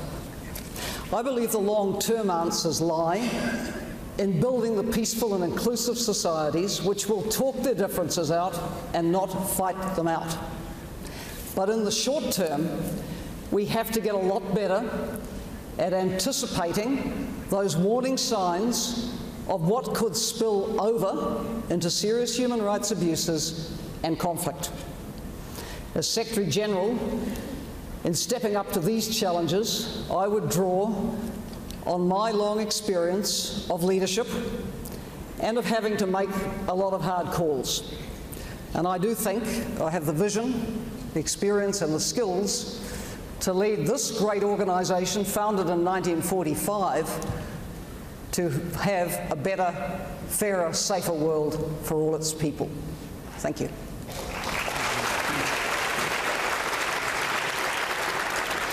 Next, Danilo Turk, former President of the Republic of Slovenia and the UN Assistant Secretary General, former uh, for Political Affairs. The world today needs a renovated United Nations. But in order to renovate the United Nations, we need experience, we need commitment, and we need vision. And I believe that in my 30 years of work with the United Nations, I have gained a great deal of experience in human rights, in dealing with political issues in the General Assembly and Security Council, and later as Assistant Secretary General for Political Affairs. The interesting thing is that in all this time, my commitment to the United Nations has only grown stronger. Today, before this meeting, I met one of my friends from the indigenous community. And we talked about the times when the Declaration on Indigenous Peoples was formulated in the United Nations, and we very quickly realized what kind of action is needed today. So this is an example which shows how commitment comes from experience and how current tasks can be identified with clarity. And of course, that requires development of partnerships. UN cannot be only a club of governments. It has to have partners in the non-governmental community, in civil society generally, in academia and the business community. And I believe that tonight we'll be able to talk about this in some detail. Thank you.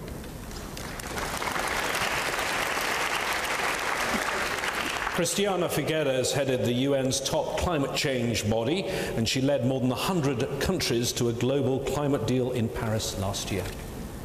Good evening, and thank you all for coming here tonight.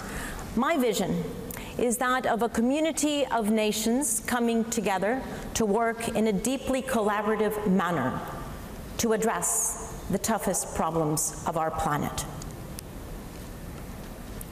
I know that this is difficult. I know it's difficult because I have done it. Six years ago, I inherited a collapsed negotiation with a total deadlock in the process and with total absence of trust among all parties involved. Six days ago, I left that process on the back of the most ambitious agreement that is unanimous, that is legally binding, and that points a clear path forward for all nations and all other stakeholders to address the issue of climate change. That was possible because with patience and determination, we collectively built a process that fully respected national interests, national needs, and national ambitions, but that was at the same time capable of identifying the common ground. That is multilateralism at its best. And that is what we need in all other areas of the of United Nations, in particular in peace and security, that is at the heart of the UN. I have delivered a multilateral breakthrough. I believe that with clear leadership, together, we can and we must continue to deliver multilateral breakthroughs time after time after time.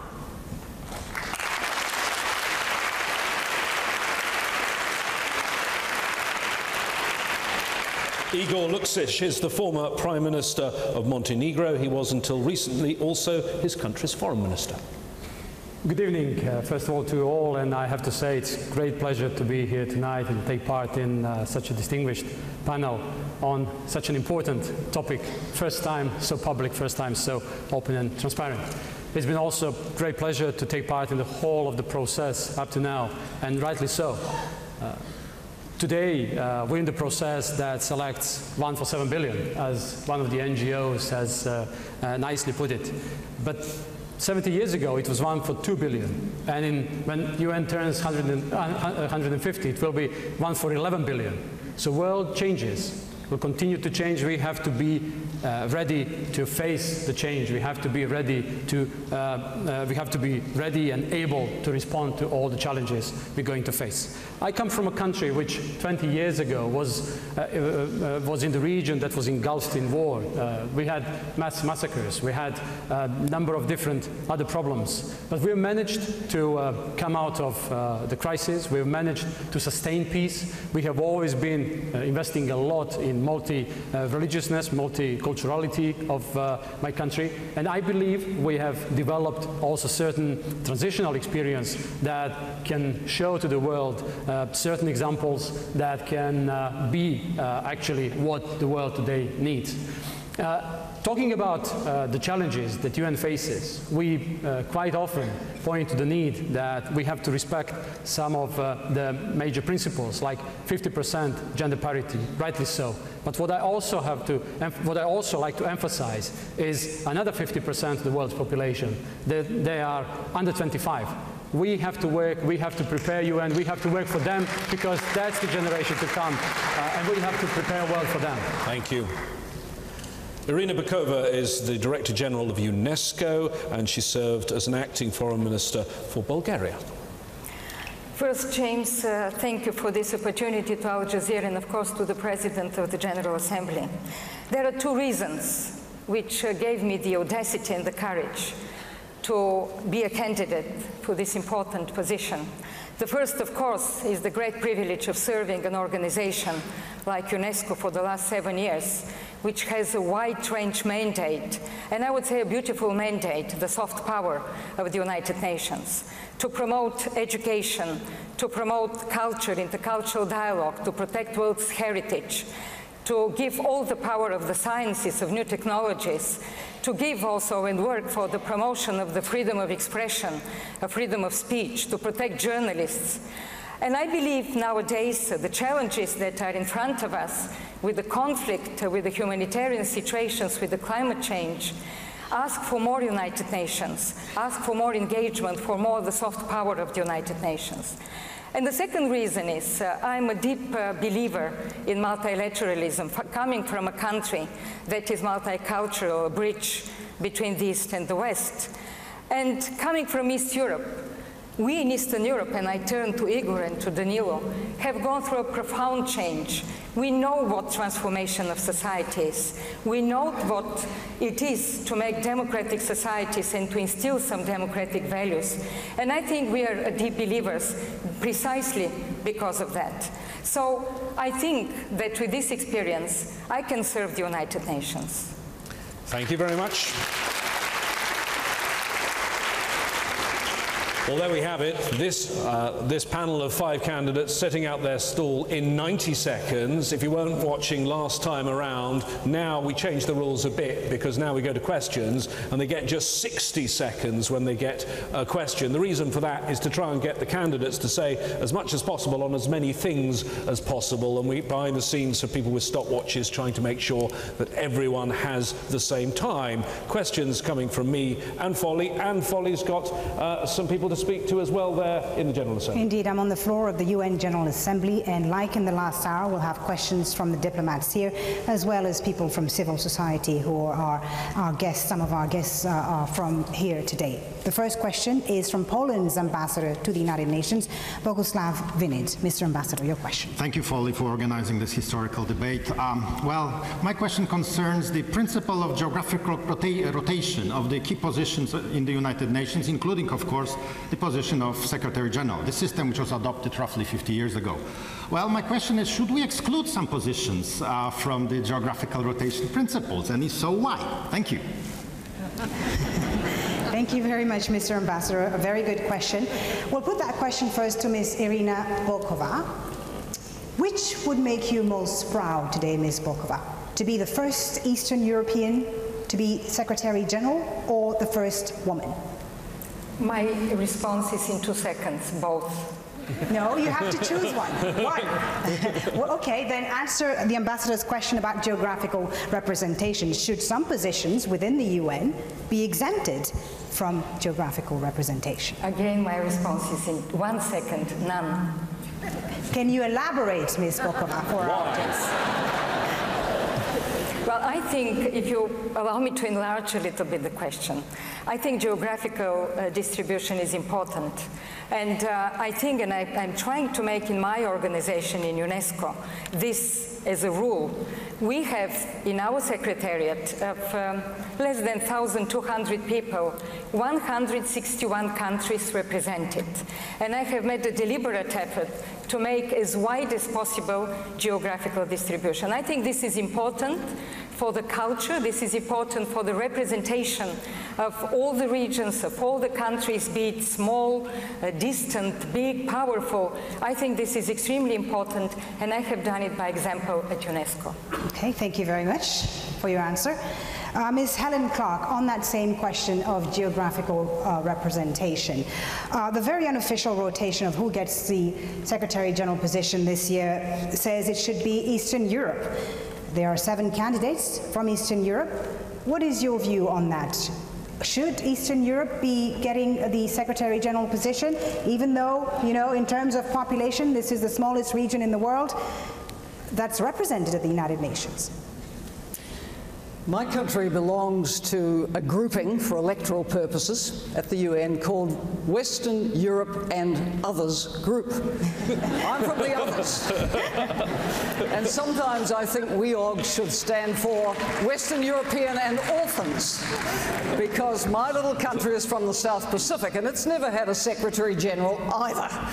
So I really think that when we look at the scale of the challenges our world is facing, we need a global search for the best talent. This is a critical job, the best talent. Danilo Turk, I'd like your perspective on this as an Eastern European political leader in the past. Yes. What do you think of rotation of the Secretary General's job, and is it your bloc's turn? I think that geographical rotation is indispensable. It's an instrument of fairness, and if we want to establish fair uh, and decent processes in this organization, then we have to work on the basis of rotation among different groups. Now, of course, there were proposals in the past to reform the groupings uh, for electoral purposes, and these discussions will continue. Hopefully, one day there will be change. But now that's the arrangement that we have. And I believe that's an important instrument of fairness that we have to retain and we have to use wisely. But there is one thing that I would like to emphasize in addition to whatever else one can say about regional groups, and that is the Secretary General has to serve the whole organization. The Secretary General is not an East European or non-East European. The Secretary General belongs to the whole organization and we, my candidature is based on that and I appreciate the fact that the process this year has really been inspired by this idea. Thank you very much. Igor Luksic, if I can ask you about this, there seem to be two competing things, none of it written down, but a convention that it goes around the different parts of the world, and Eastern European hasn't had it yet, but neither has a woman had it. Uh, why do you think, or do you think, after 70 years, it's time for a female sec uh, Secretary General? I know it's a hard question for you a very difficult one to, to, respond because I cannot help it.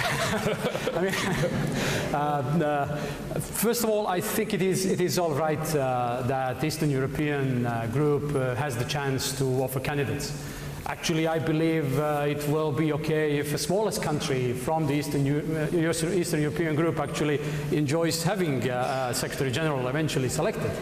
Uh, but I think this is, uh, again, not so much about uh, regional rotation. I think it is also uh, about uh, challenges we're facing in today's world. And even if uh, there was no uh, uh, principle of regional rotation, even, even unwritten one anywhere, or I mean written or unwritten, whatever, I would be considering this possibility because I believe that UN needs a new approach, needs something new. humankind has always been in the situation to make hard choices, but we are living in a world which, ch which changes and which requires also difficult, difficult choices and therefore I think we need a different UN. But I also believe that our argument stands well, that uh, Eastern European group should have uh, a fair opportunity to uh, uh offer candidates and eventually somebody uh, can be selected Secretary General. Thank you very much for that response. I will put that question now to Ms. Christiana Figueres. The, Christ the Eastern Europeans say it is their time to be Secretary General. Your response.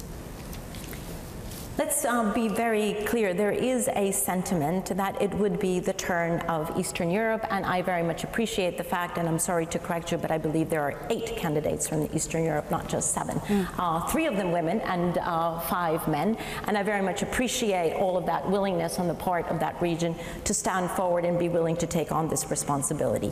The candidacy of Costa Rica is in no way a disrespect for that sentiment, but rather it has the intent of opening up options, of displaying all of the different leadership possibilities that there are in order to allow the Security Council and the General Assembly to make a decision that is as informed as possible.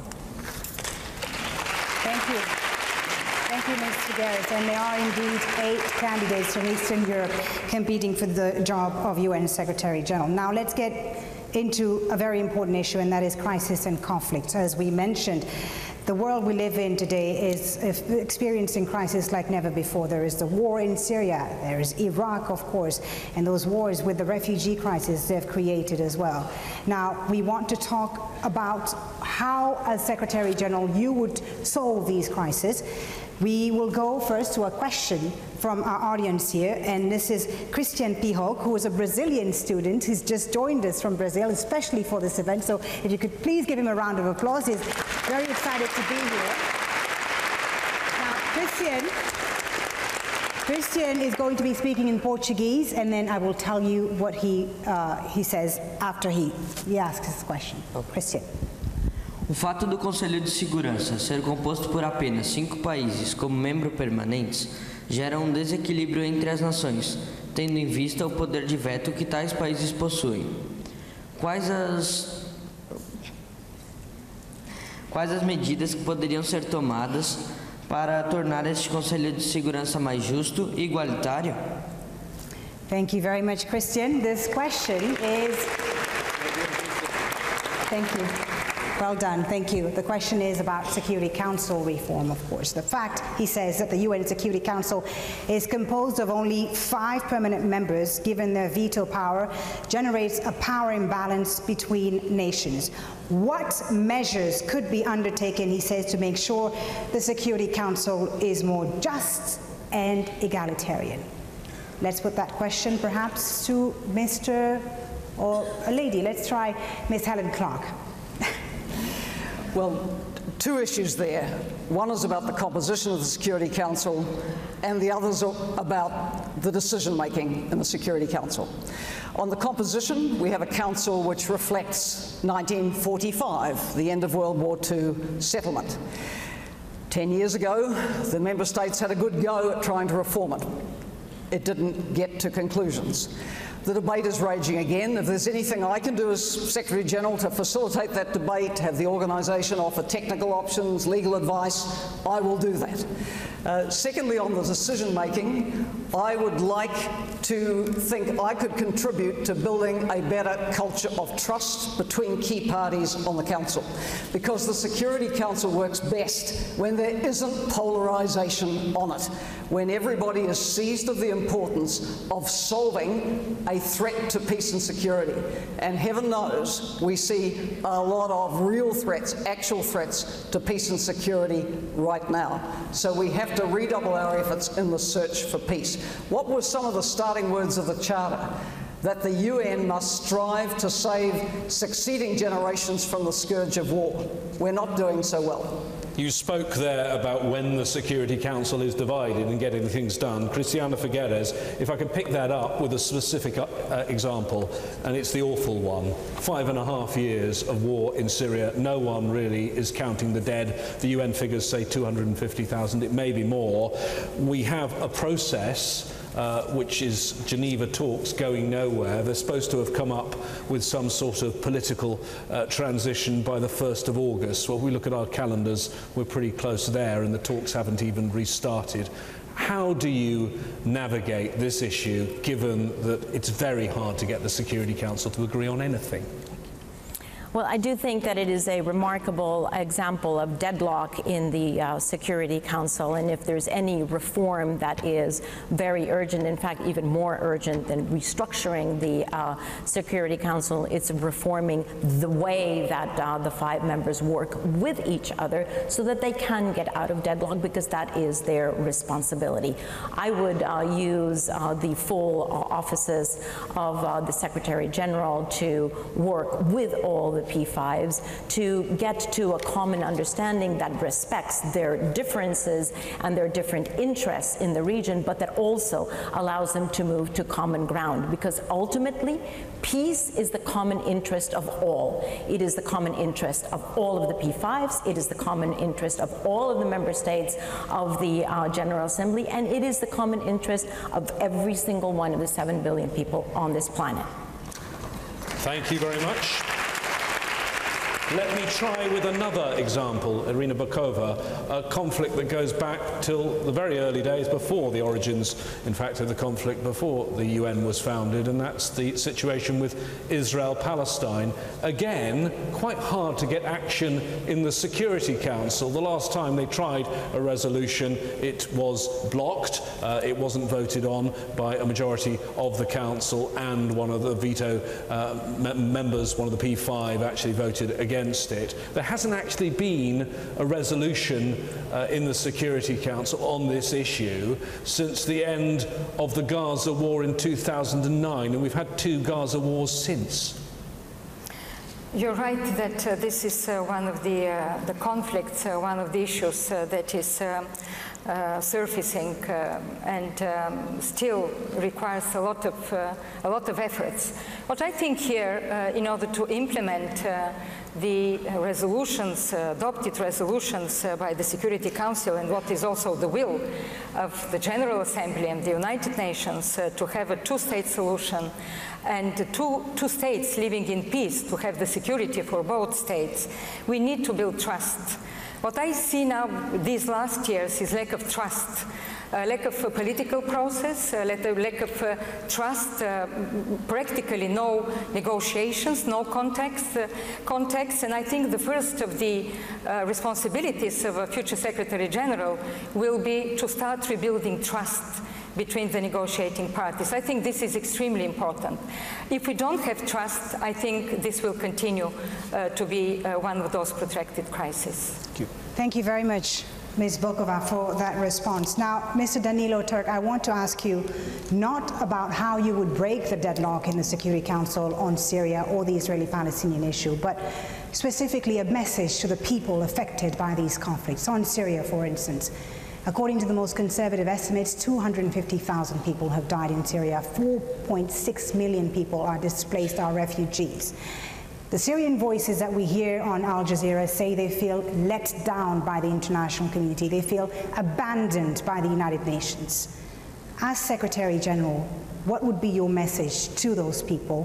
What hope can you offer them?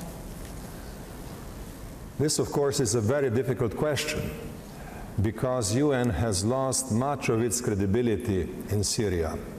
I would like to remind ourselves that former Secretary General Kofi Annan, who was the first joint envoy for United Nations and the Arab League, came with a plan four years ago.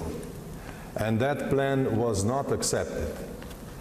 And later, many years later, the same ideas came to the fore. Now, UN has lost a lot of credibility in that regard.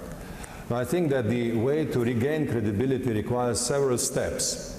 First, there has to be more humanitarian assistance to deal with the immediate needs. There were some improvements recently, but much more needs to be done.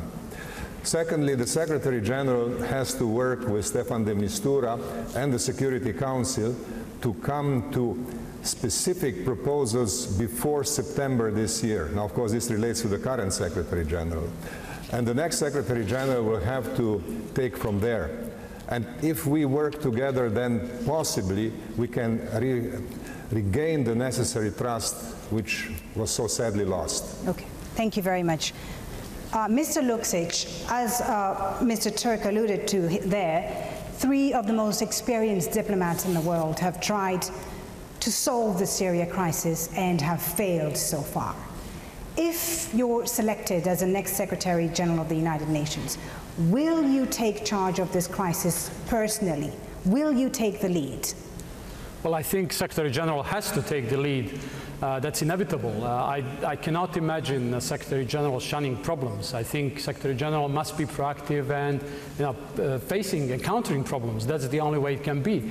That is what people uh, expect. That, and maybe sometimes there's exaggeration, maybe sometimes there's too high expectations and so on. But I think that's what we need. We need more, energetic, more energy, uh, we need uh, more proactiveness, we need more interaction, and that's the only way it can, it can go. I think that, that we finally need to start uh, uh, drawing lessons from problems, uh, uh lessons from crises. Uh, we just cannot let it go on like this uh, forever.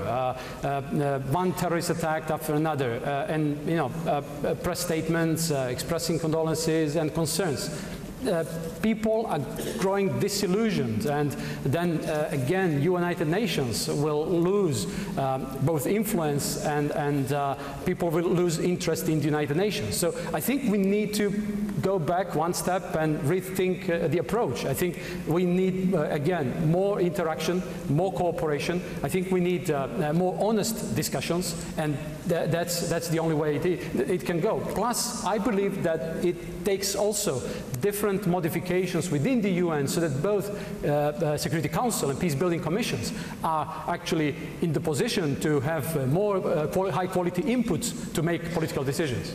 Thank you very much indeed for that uh, response, Mr. Luksic. We're going to take another question now from the floor, and this is a representative from the Liechtenstein mission to the United Nations, Jorn Oliver Ehrman. Your question. Thanks. The United Nations has been undermined by several instances of sexual abuse by peacekeepers, including of minors. How do you think the UN should best address this issue? A very important question indeed.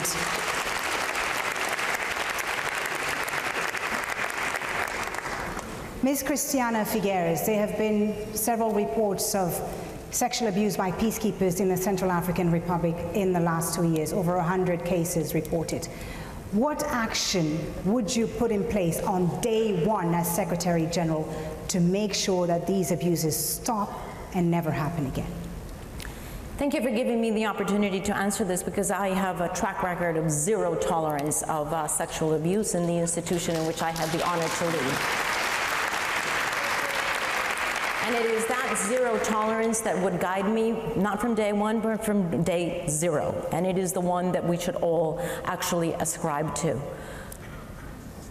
Immunity cannot be impunity all those who have been proven or would be proven after a very serious and robust investigation to be guilty of sexual abuse must be held to account. This is the only way to reestablish the integrity of our very, very hardworking and very courageous peacekeeping forces. Thank you very much. Ms. Helen Clark, of course, everyone condemns these abuses. Everyone, you know, has strong words against them. But what do we do to prevent them from happening in the first place?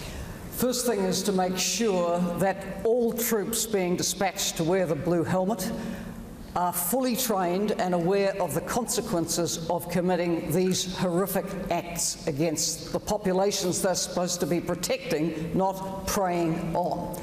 Secondly, any whisper of abuse should be reported. And when reported, promptly taken up. That should mean those troops or trooper being suspended, probably sent home, and then the country's judicial system is expected to prosecute, and if someone is found guilty, to be punished accordingly.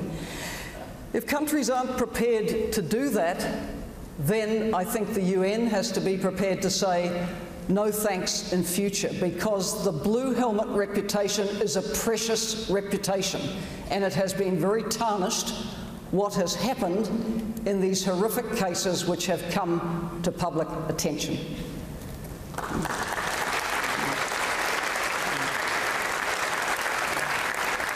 Helen Clark, thank you very much. UN peacekeeping under quite a bit of a burden if you just look at the number of peacekeepers. 103,000 peacekeepers at the moment. Back in the year 2000, just 1,800. Igor Luksic, if you look at that, do you think perhaps some of the standards have been lowered and we need more stringent vetting and better training?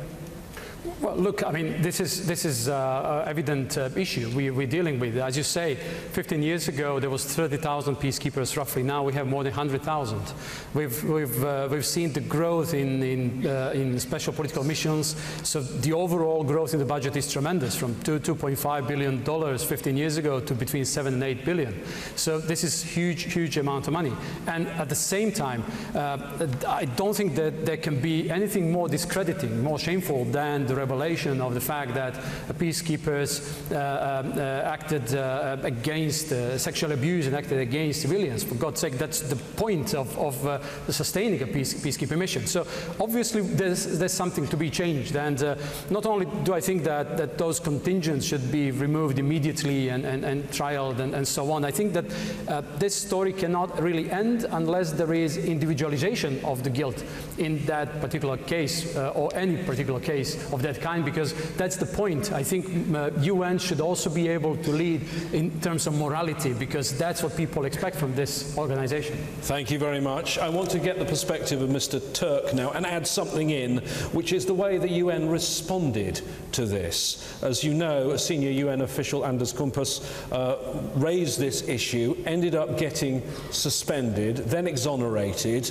and now feels that he's had to resign because there's a lack of accountability.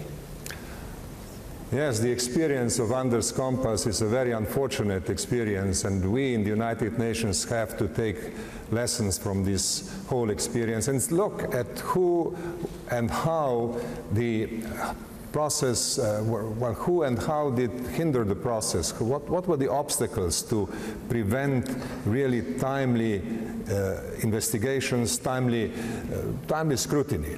Now, this was a very this has been and continues to be a very big problem for the United Nations. And I think that we have to bring Anders Kompass back into the family. I know Anders Kompass, I worked with him when he was engaged in, in uh, Colombia. And I have very high opinion of him, and I hope that we can still bring him back to the United Nations. Okay, well, we're going to move on from this to our next uh, round of questions, uh, which are a round of questions on income and equality, uh, examining the difference between the haves and the have-nots, obviously a growing gap in the world. Folly. Yes, and for that we will go to the Tunisian ambassador to the United Nations, Mr. Mohamed Khaled Khiari, who has a question for the candidates. Mr. Khiari. Shukran. How can the right to development be better integrated in the work of the UN system? And uh, how do you envisage the role of the incoming Secretary General in contributing toward the creation of a conducive environment uh, to achieve the 2030 development agenda, in particular goal 17 on strengthening the means of implementation and revitalizing the global partnership for sustainable development. Thank you. Thank you very much. I will translate. um, Ms. Bokova, the ambassador asks, how can the right development be better integrated in the UN system and how can the Secretary General contribute the Secretary General uh, will have uh, an enormous leadership role in the implementation of the Agenda for Sustainable Development. Uh, I would say that uh, this was a huge achievement of the United Nations adopting the 17 development, sustainable development goals, which are universal, which are changing the paradigm of development, which are very much owned by countries and by governments. And nowadays we see that more than 70 countries already have adopted their national plans. How to mobilize the United Nations system, how to reform the United Nations system to make it adequate, relevant to accompany governments in the implementation of these goals is the biggest challenge challenge that we face overcoming the fragmentation of the system, complementarity, of having a coherent approach, of involving the regional approach, of uh, making the unfinished business also being done.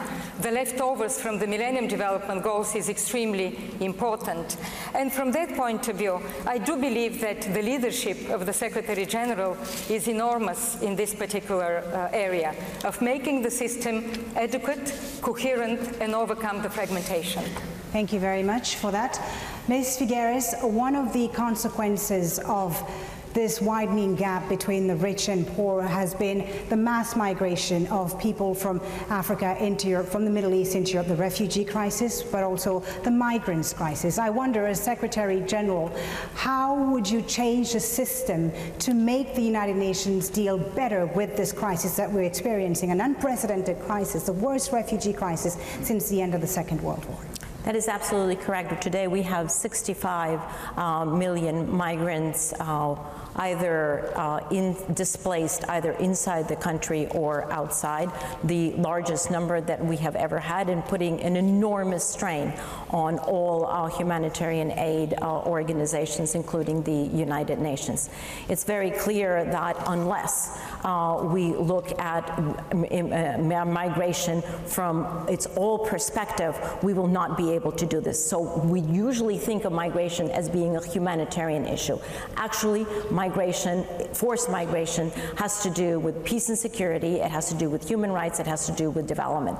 So one way to look at this is to first start with human rights and ensure that all of those who are being forced to migrate away are being treated with dignity and in full respect of their human rights. Secondly, we have to have a system that actually shares better global responsibility. It is not just the responsibility of the countries that are right there, there's global responsibility to be shared. And thirdly, we have to look at the root causes of this migration and work in a preventive way to not let, let migration duplicate or triplicate, which it would do unless we pay that attention.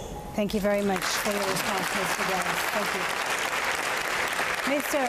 Mr. Danilo Turk, on that same issue of migration and the refugee crisis, how would you, as Secretary General, make sure that the most vulnerable people who flee war and conflict, poverty in their countries, are treated in a good manner in the host countries that they are, that the host countries who receive these people adhere to the responsibilities, their responsibilities under international law? International law has to be implemented.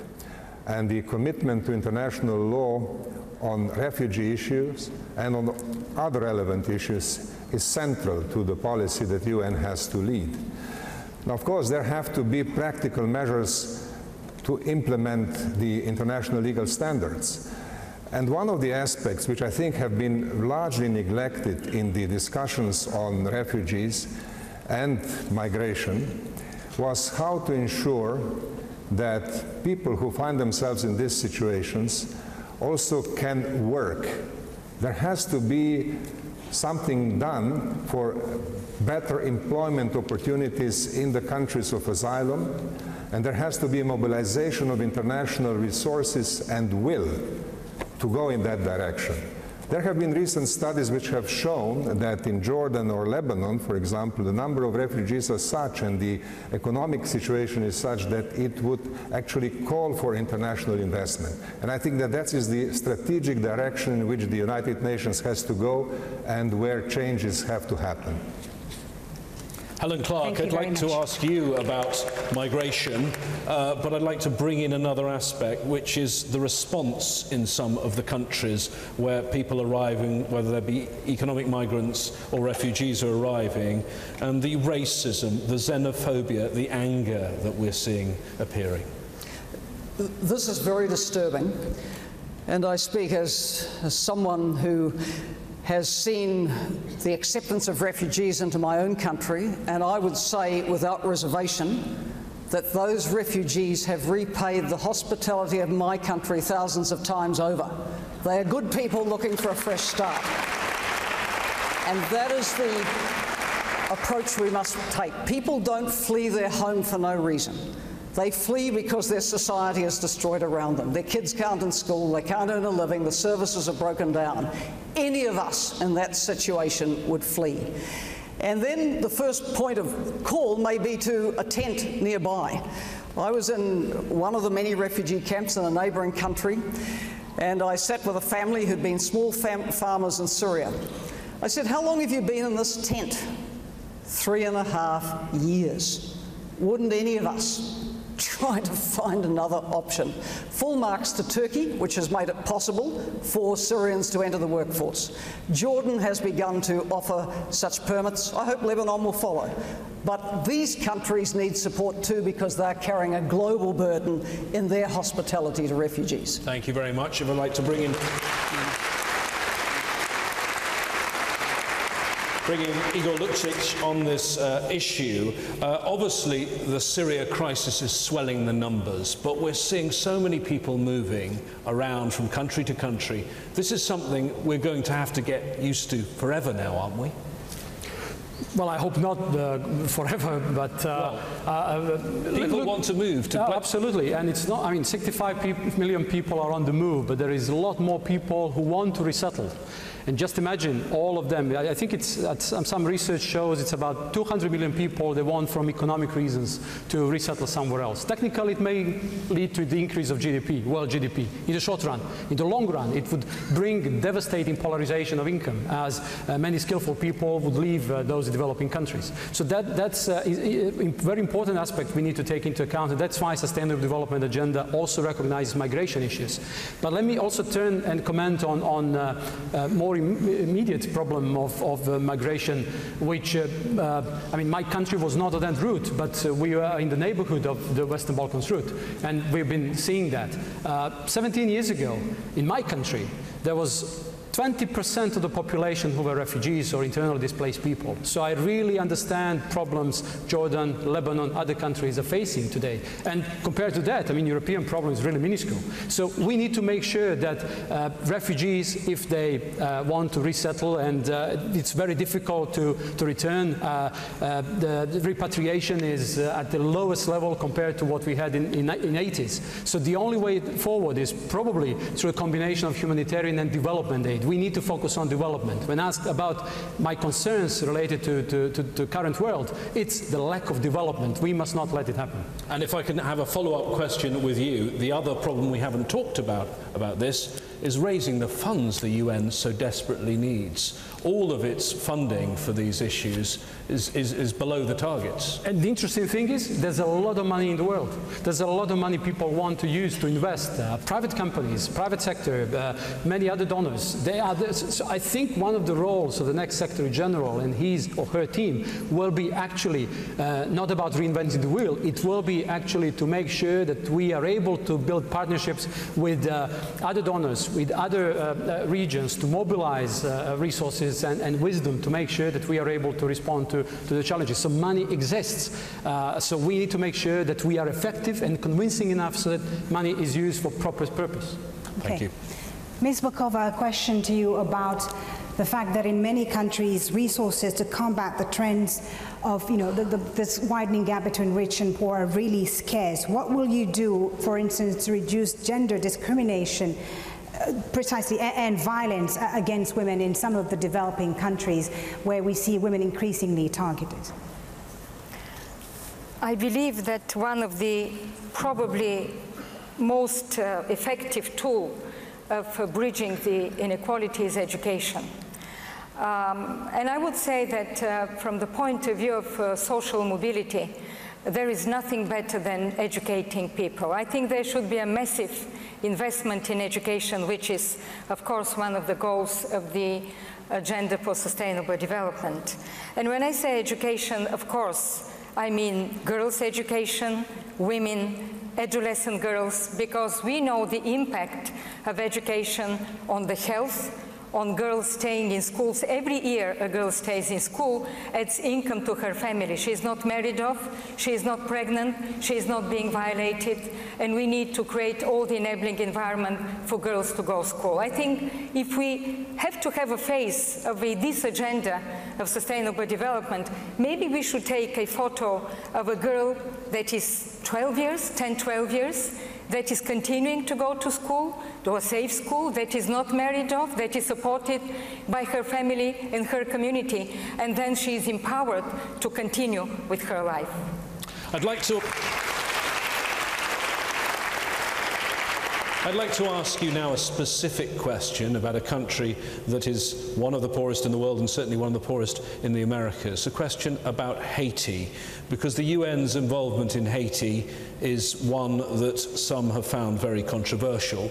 Clearly, there has been this outbreak of cholera. Now, the official figures say 9,200 people have died from cholera in Haiti. Many believe the figures are much higher than that. Most scientists you talk to believe that the UN peacekeepers brought cholera to Haiti. So maybe we can have a show of hands. As Secretary General, would any of you admit responsibility and apologise to the people of Haiti? Who would do that?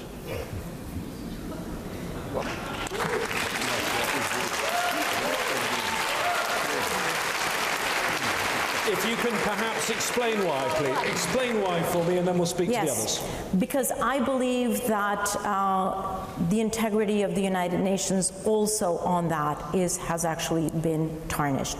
That was an unintended consequence of a very important goal of the United Nations, unintended consequence. But we have to be responsible even for unintended consequences.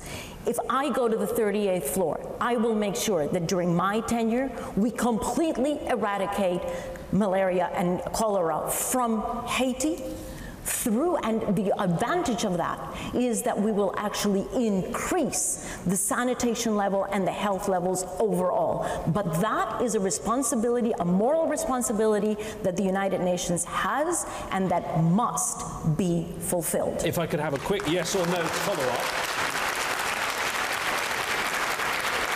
You say you'll apologise.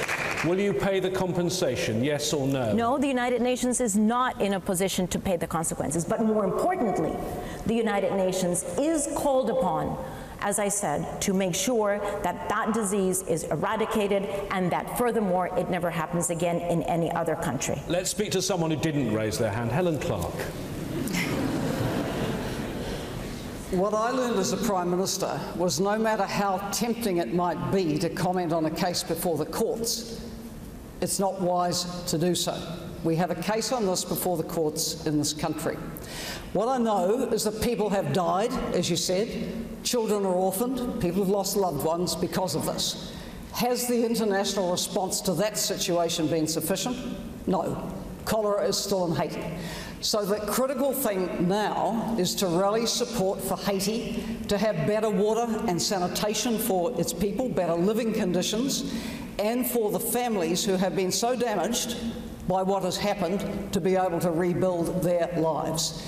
If there are issues of sanitation in UN camps, which there may well be, let us attend to that because UN peacekeepers shouldn't be living in squalor either if that is going to cause a problem, as it will, not only to them but to a surrounding neighbourhood.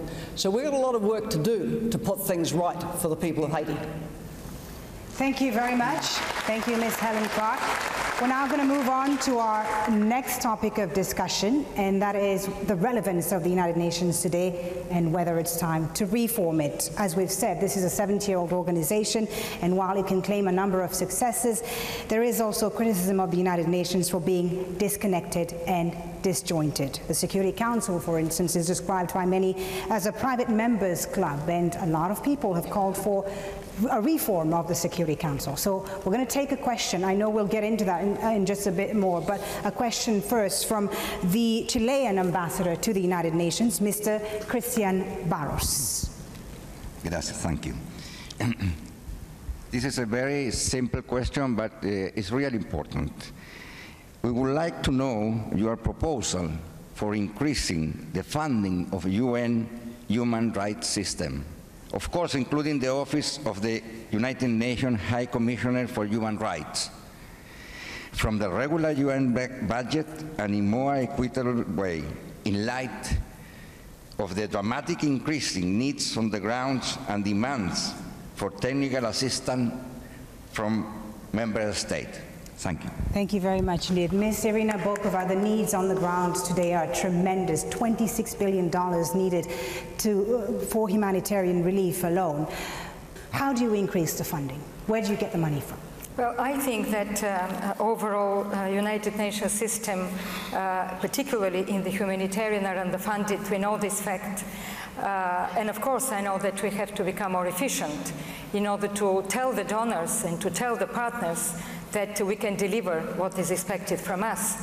I believe this is, uh, this is an issue that needs uh, a lot of uh, support of member states. Definitely, the Secretary General should take the lead and propose a very committed debate around it. Unfortunately, it is not the Secretary General that adopts the budget of this organization, but I do believe that in terms of supporting the Office of the High Commissioner, to support the missions of the High Commissioner in different places on protecting human rights, linked also to the political mission, is very much underfunded. I will fight for a bigger chunk of the fund, of the budget of the United Nations, both regular and extra budgetary resources for the political missions, including for the missions of human rights. Thank you very much, Ms. Bokova, for that. Mr. Danilo Turk, a question for you now. Uh, former UN Assistant Secretary General Anthony Banbury described the UN as a failure due to colossal mismanagement. He says, and I quote, the system is a black hole into which disappear countless tax dollars and human aspirations. So how would you address, for instance, institutional corruption and the misuse of resources within the United Nations, especially in humanitarian settings? Now, the articles like the one from Mr. Banbury are welcome. This is criticism. Uh, Mr. Banbury has left the United Nations and then uh, published his critical remarks.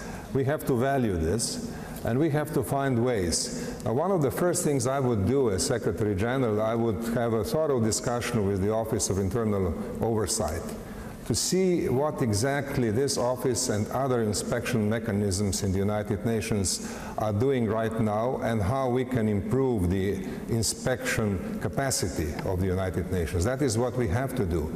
But that's only something that helps with part of the problem we have to do more to deal with other aspects of Mr. Banbury's critique, which had to do with recruitment and rotation.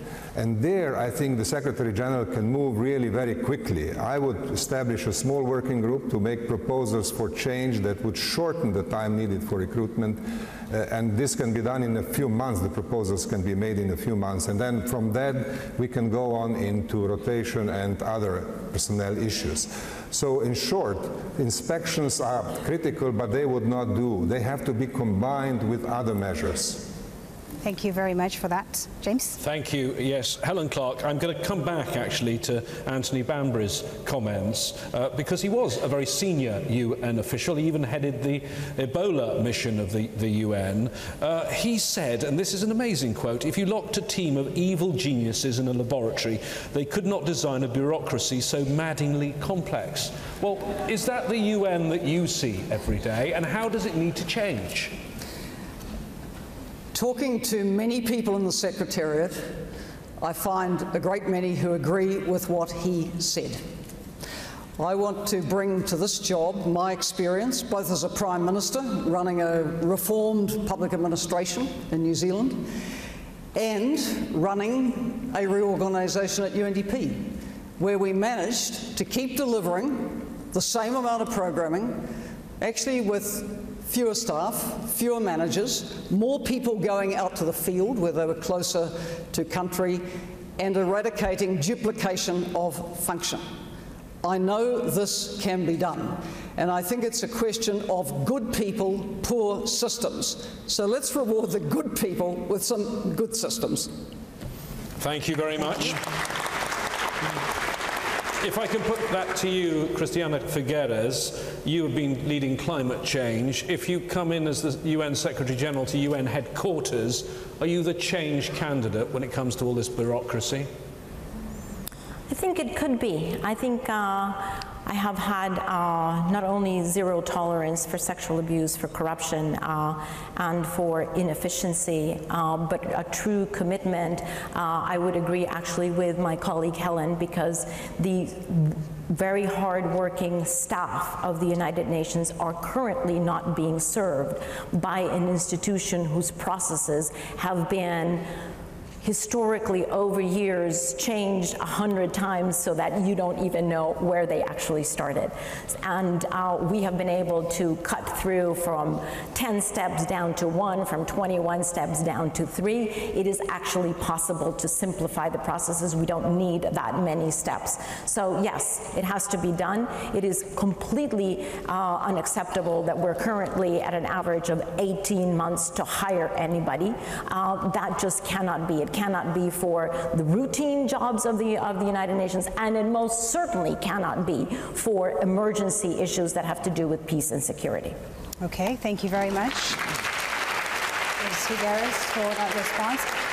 We're going to take a last question from one of the ambassadors here with us at the General Assembly today, and that's the ambassador uh, of Indonesia to the United Nations, Mr. Dian Triansyah Djani. Thank you. Uh, noting the many challenges that are facing the world today and the limited financial resources of the UN, as well as the expectation of members, what would be the most important initiative that are innovative that you would like to implement in terms of the UN management reform? And do you think that the UN Secretariat is too large or is it too small? Thank you. Perhaps to Mr. Lukšić. Thank you. Uh, well, there are two principal actions I'd like to take in this field. One is the reshuffle of the Chief of uh, Executives Board for Coordination by uh, replacing the existing three uh, committees or groups with three but different ones in order to overcome the detachment that there, there, exists, I believe, between the Secretariat and the agencies, funds and programs by setting up so-called UN Peace Operations Group, but also UN Sustainable Development Group, which is not only a name change from the existing development group, and UN Programs Management Budget Group, because we need to make sure that budgets are harmonized. Core budget of the United Nations needs to be harmonized with other, other budgets. Second uh, uh, principal action I'd like to do immediately, uh, very early in the office, is to set up a panel of international experts that should do uh, a review of the current spending of the budget to make sure that we are able to uh, understand and identify potential economies, but also inefficiencies. Look, it's been, it's been really striking to me to learn at a certain representation I attended that about 20% of the humanitarian aid funding has, is, has been uh, inefficiently spent. And one of the proposals is actually to embrace, embrace modern technologies. The blockchain technology, for example, can solve a lot of the problems. So UN should be leading the effort in uh, uh, you know, offering new opportunities rather than standing in the back, probably still uh, you know, closed uh, or imprisoned in, in, in 80s or, or in 20th century. Thank you very much. Now, Irina Bokova, you are based at UNESCO headquarters in Paris. When you fly in here to the UN in New York, do you see lots of possible savings? Do you see ways of making this run more efficiently? Well, I can say about the experience that we have in UNESCO. We, uh, people probably do not know that for five years we are without 22% of our regular budget. And I had to make a profound reform of the organization to cut the red tape, uh, to uh, decrease uh, the levels of uh, management, and at, the same moment to protect also the geographical uh, distribution and to increase the gender representation. In gender, we are arriving at uh, almost a parity. Uh, I started with 24%, and now we are at 47, and I hope by the end of my mandate that I will be at the parity, at the highest level.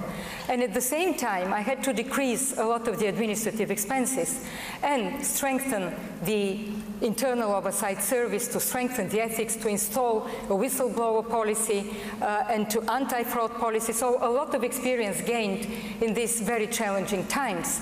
I do believe that uh, a review of the uh, administration is necessary.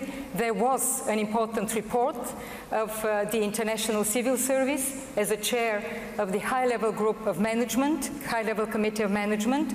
I was very much supporting and instrumental so that this be adopted by the General Assembly. Thank you very much, Ms. Bokova. Now I'm going to veer off a little bit of our topic and ask you just a simple question, Ms. Figueres. If you're not selected as next Secretary General, what are you going to do? Actually, that is a simple question. Uh, and it's a simple question because although I would regret not having the opportunity and the privilege to serve member states and the world uh, in the way that I would like to, I'm not giving up the fight. Wherever I am, wherever I am, I shall continue. I shall continue to work on climate change, on development, on prevention of all the atrocities that we're seeing, and above all, I shall continue to sound the voice of alarm.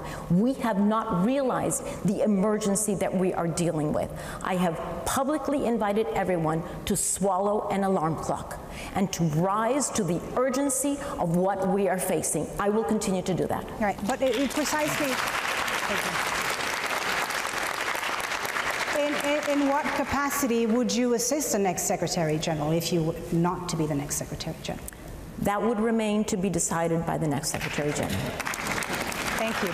Thank you, Ms. Figueres. James? Yes, we're getting quite a bit of feedback, or some feedback, uh, that earlier on we referred to Macedonia. As we know, here in this room in the UN General Assembly, it's the former Yugoslav Republic of Macedonia. I think now we're going to get your final thoughts on where things stand. A chance, and we're going to set the clock now to 30 seconds rather than 60, but just anything left over or the final impression that you want to give to our viewers and to those those here in the UN General Assembly. Irina Bokova.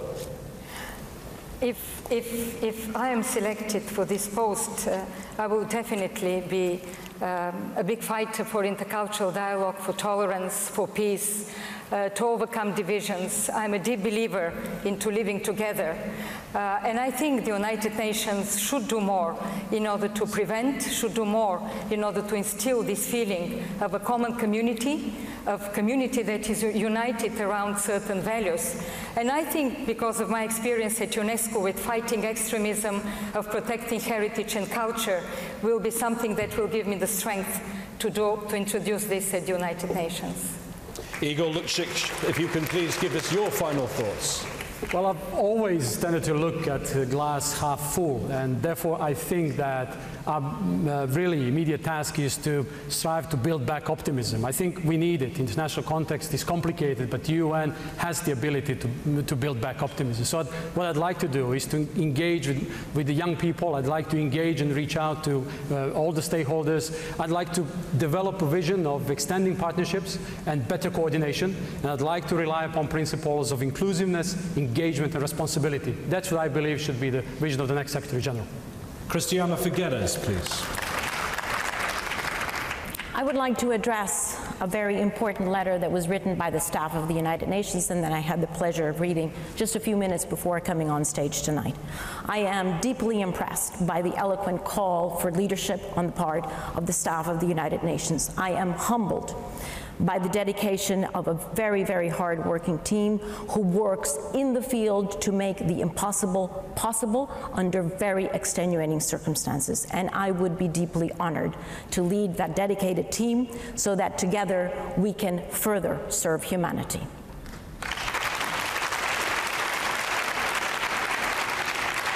Danilo Turk, please, your final comments in 30 seconds. In this discussion, we have heard many critical views, but let us not forget, United Nations is also an organization consisting of people. And we have in the Secretariat wonderful people. I know some of them, I know how hard they work, many of them in difficult situations, and some risking their lives. So we have to be not only humble, but also proud that this organization is capable of bringing such a wonderful group together into, a, in, into an organized action.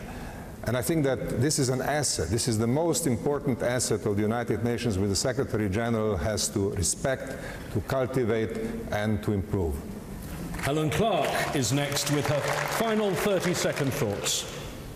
Being Secretary General would be an incredible privilege and an incredible opportunity to work for peace, development, and human rights, to work for that better, safer, fairer world. I have every energy to put into this task. These are issues I've worked on all my life, and I would really relish the challenge of this position to carry on that work and try to build that better future. Thank you.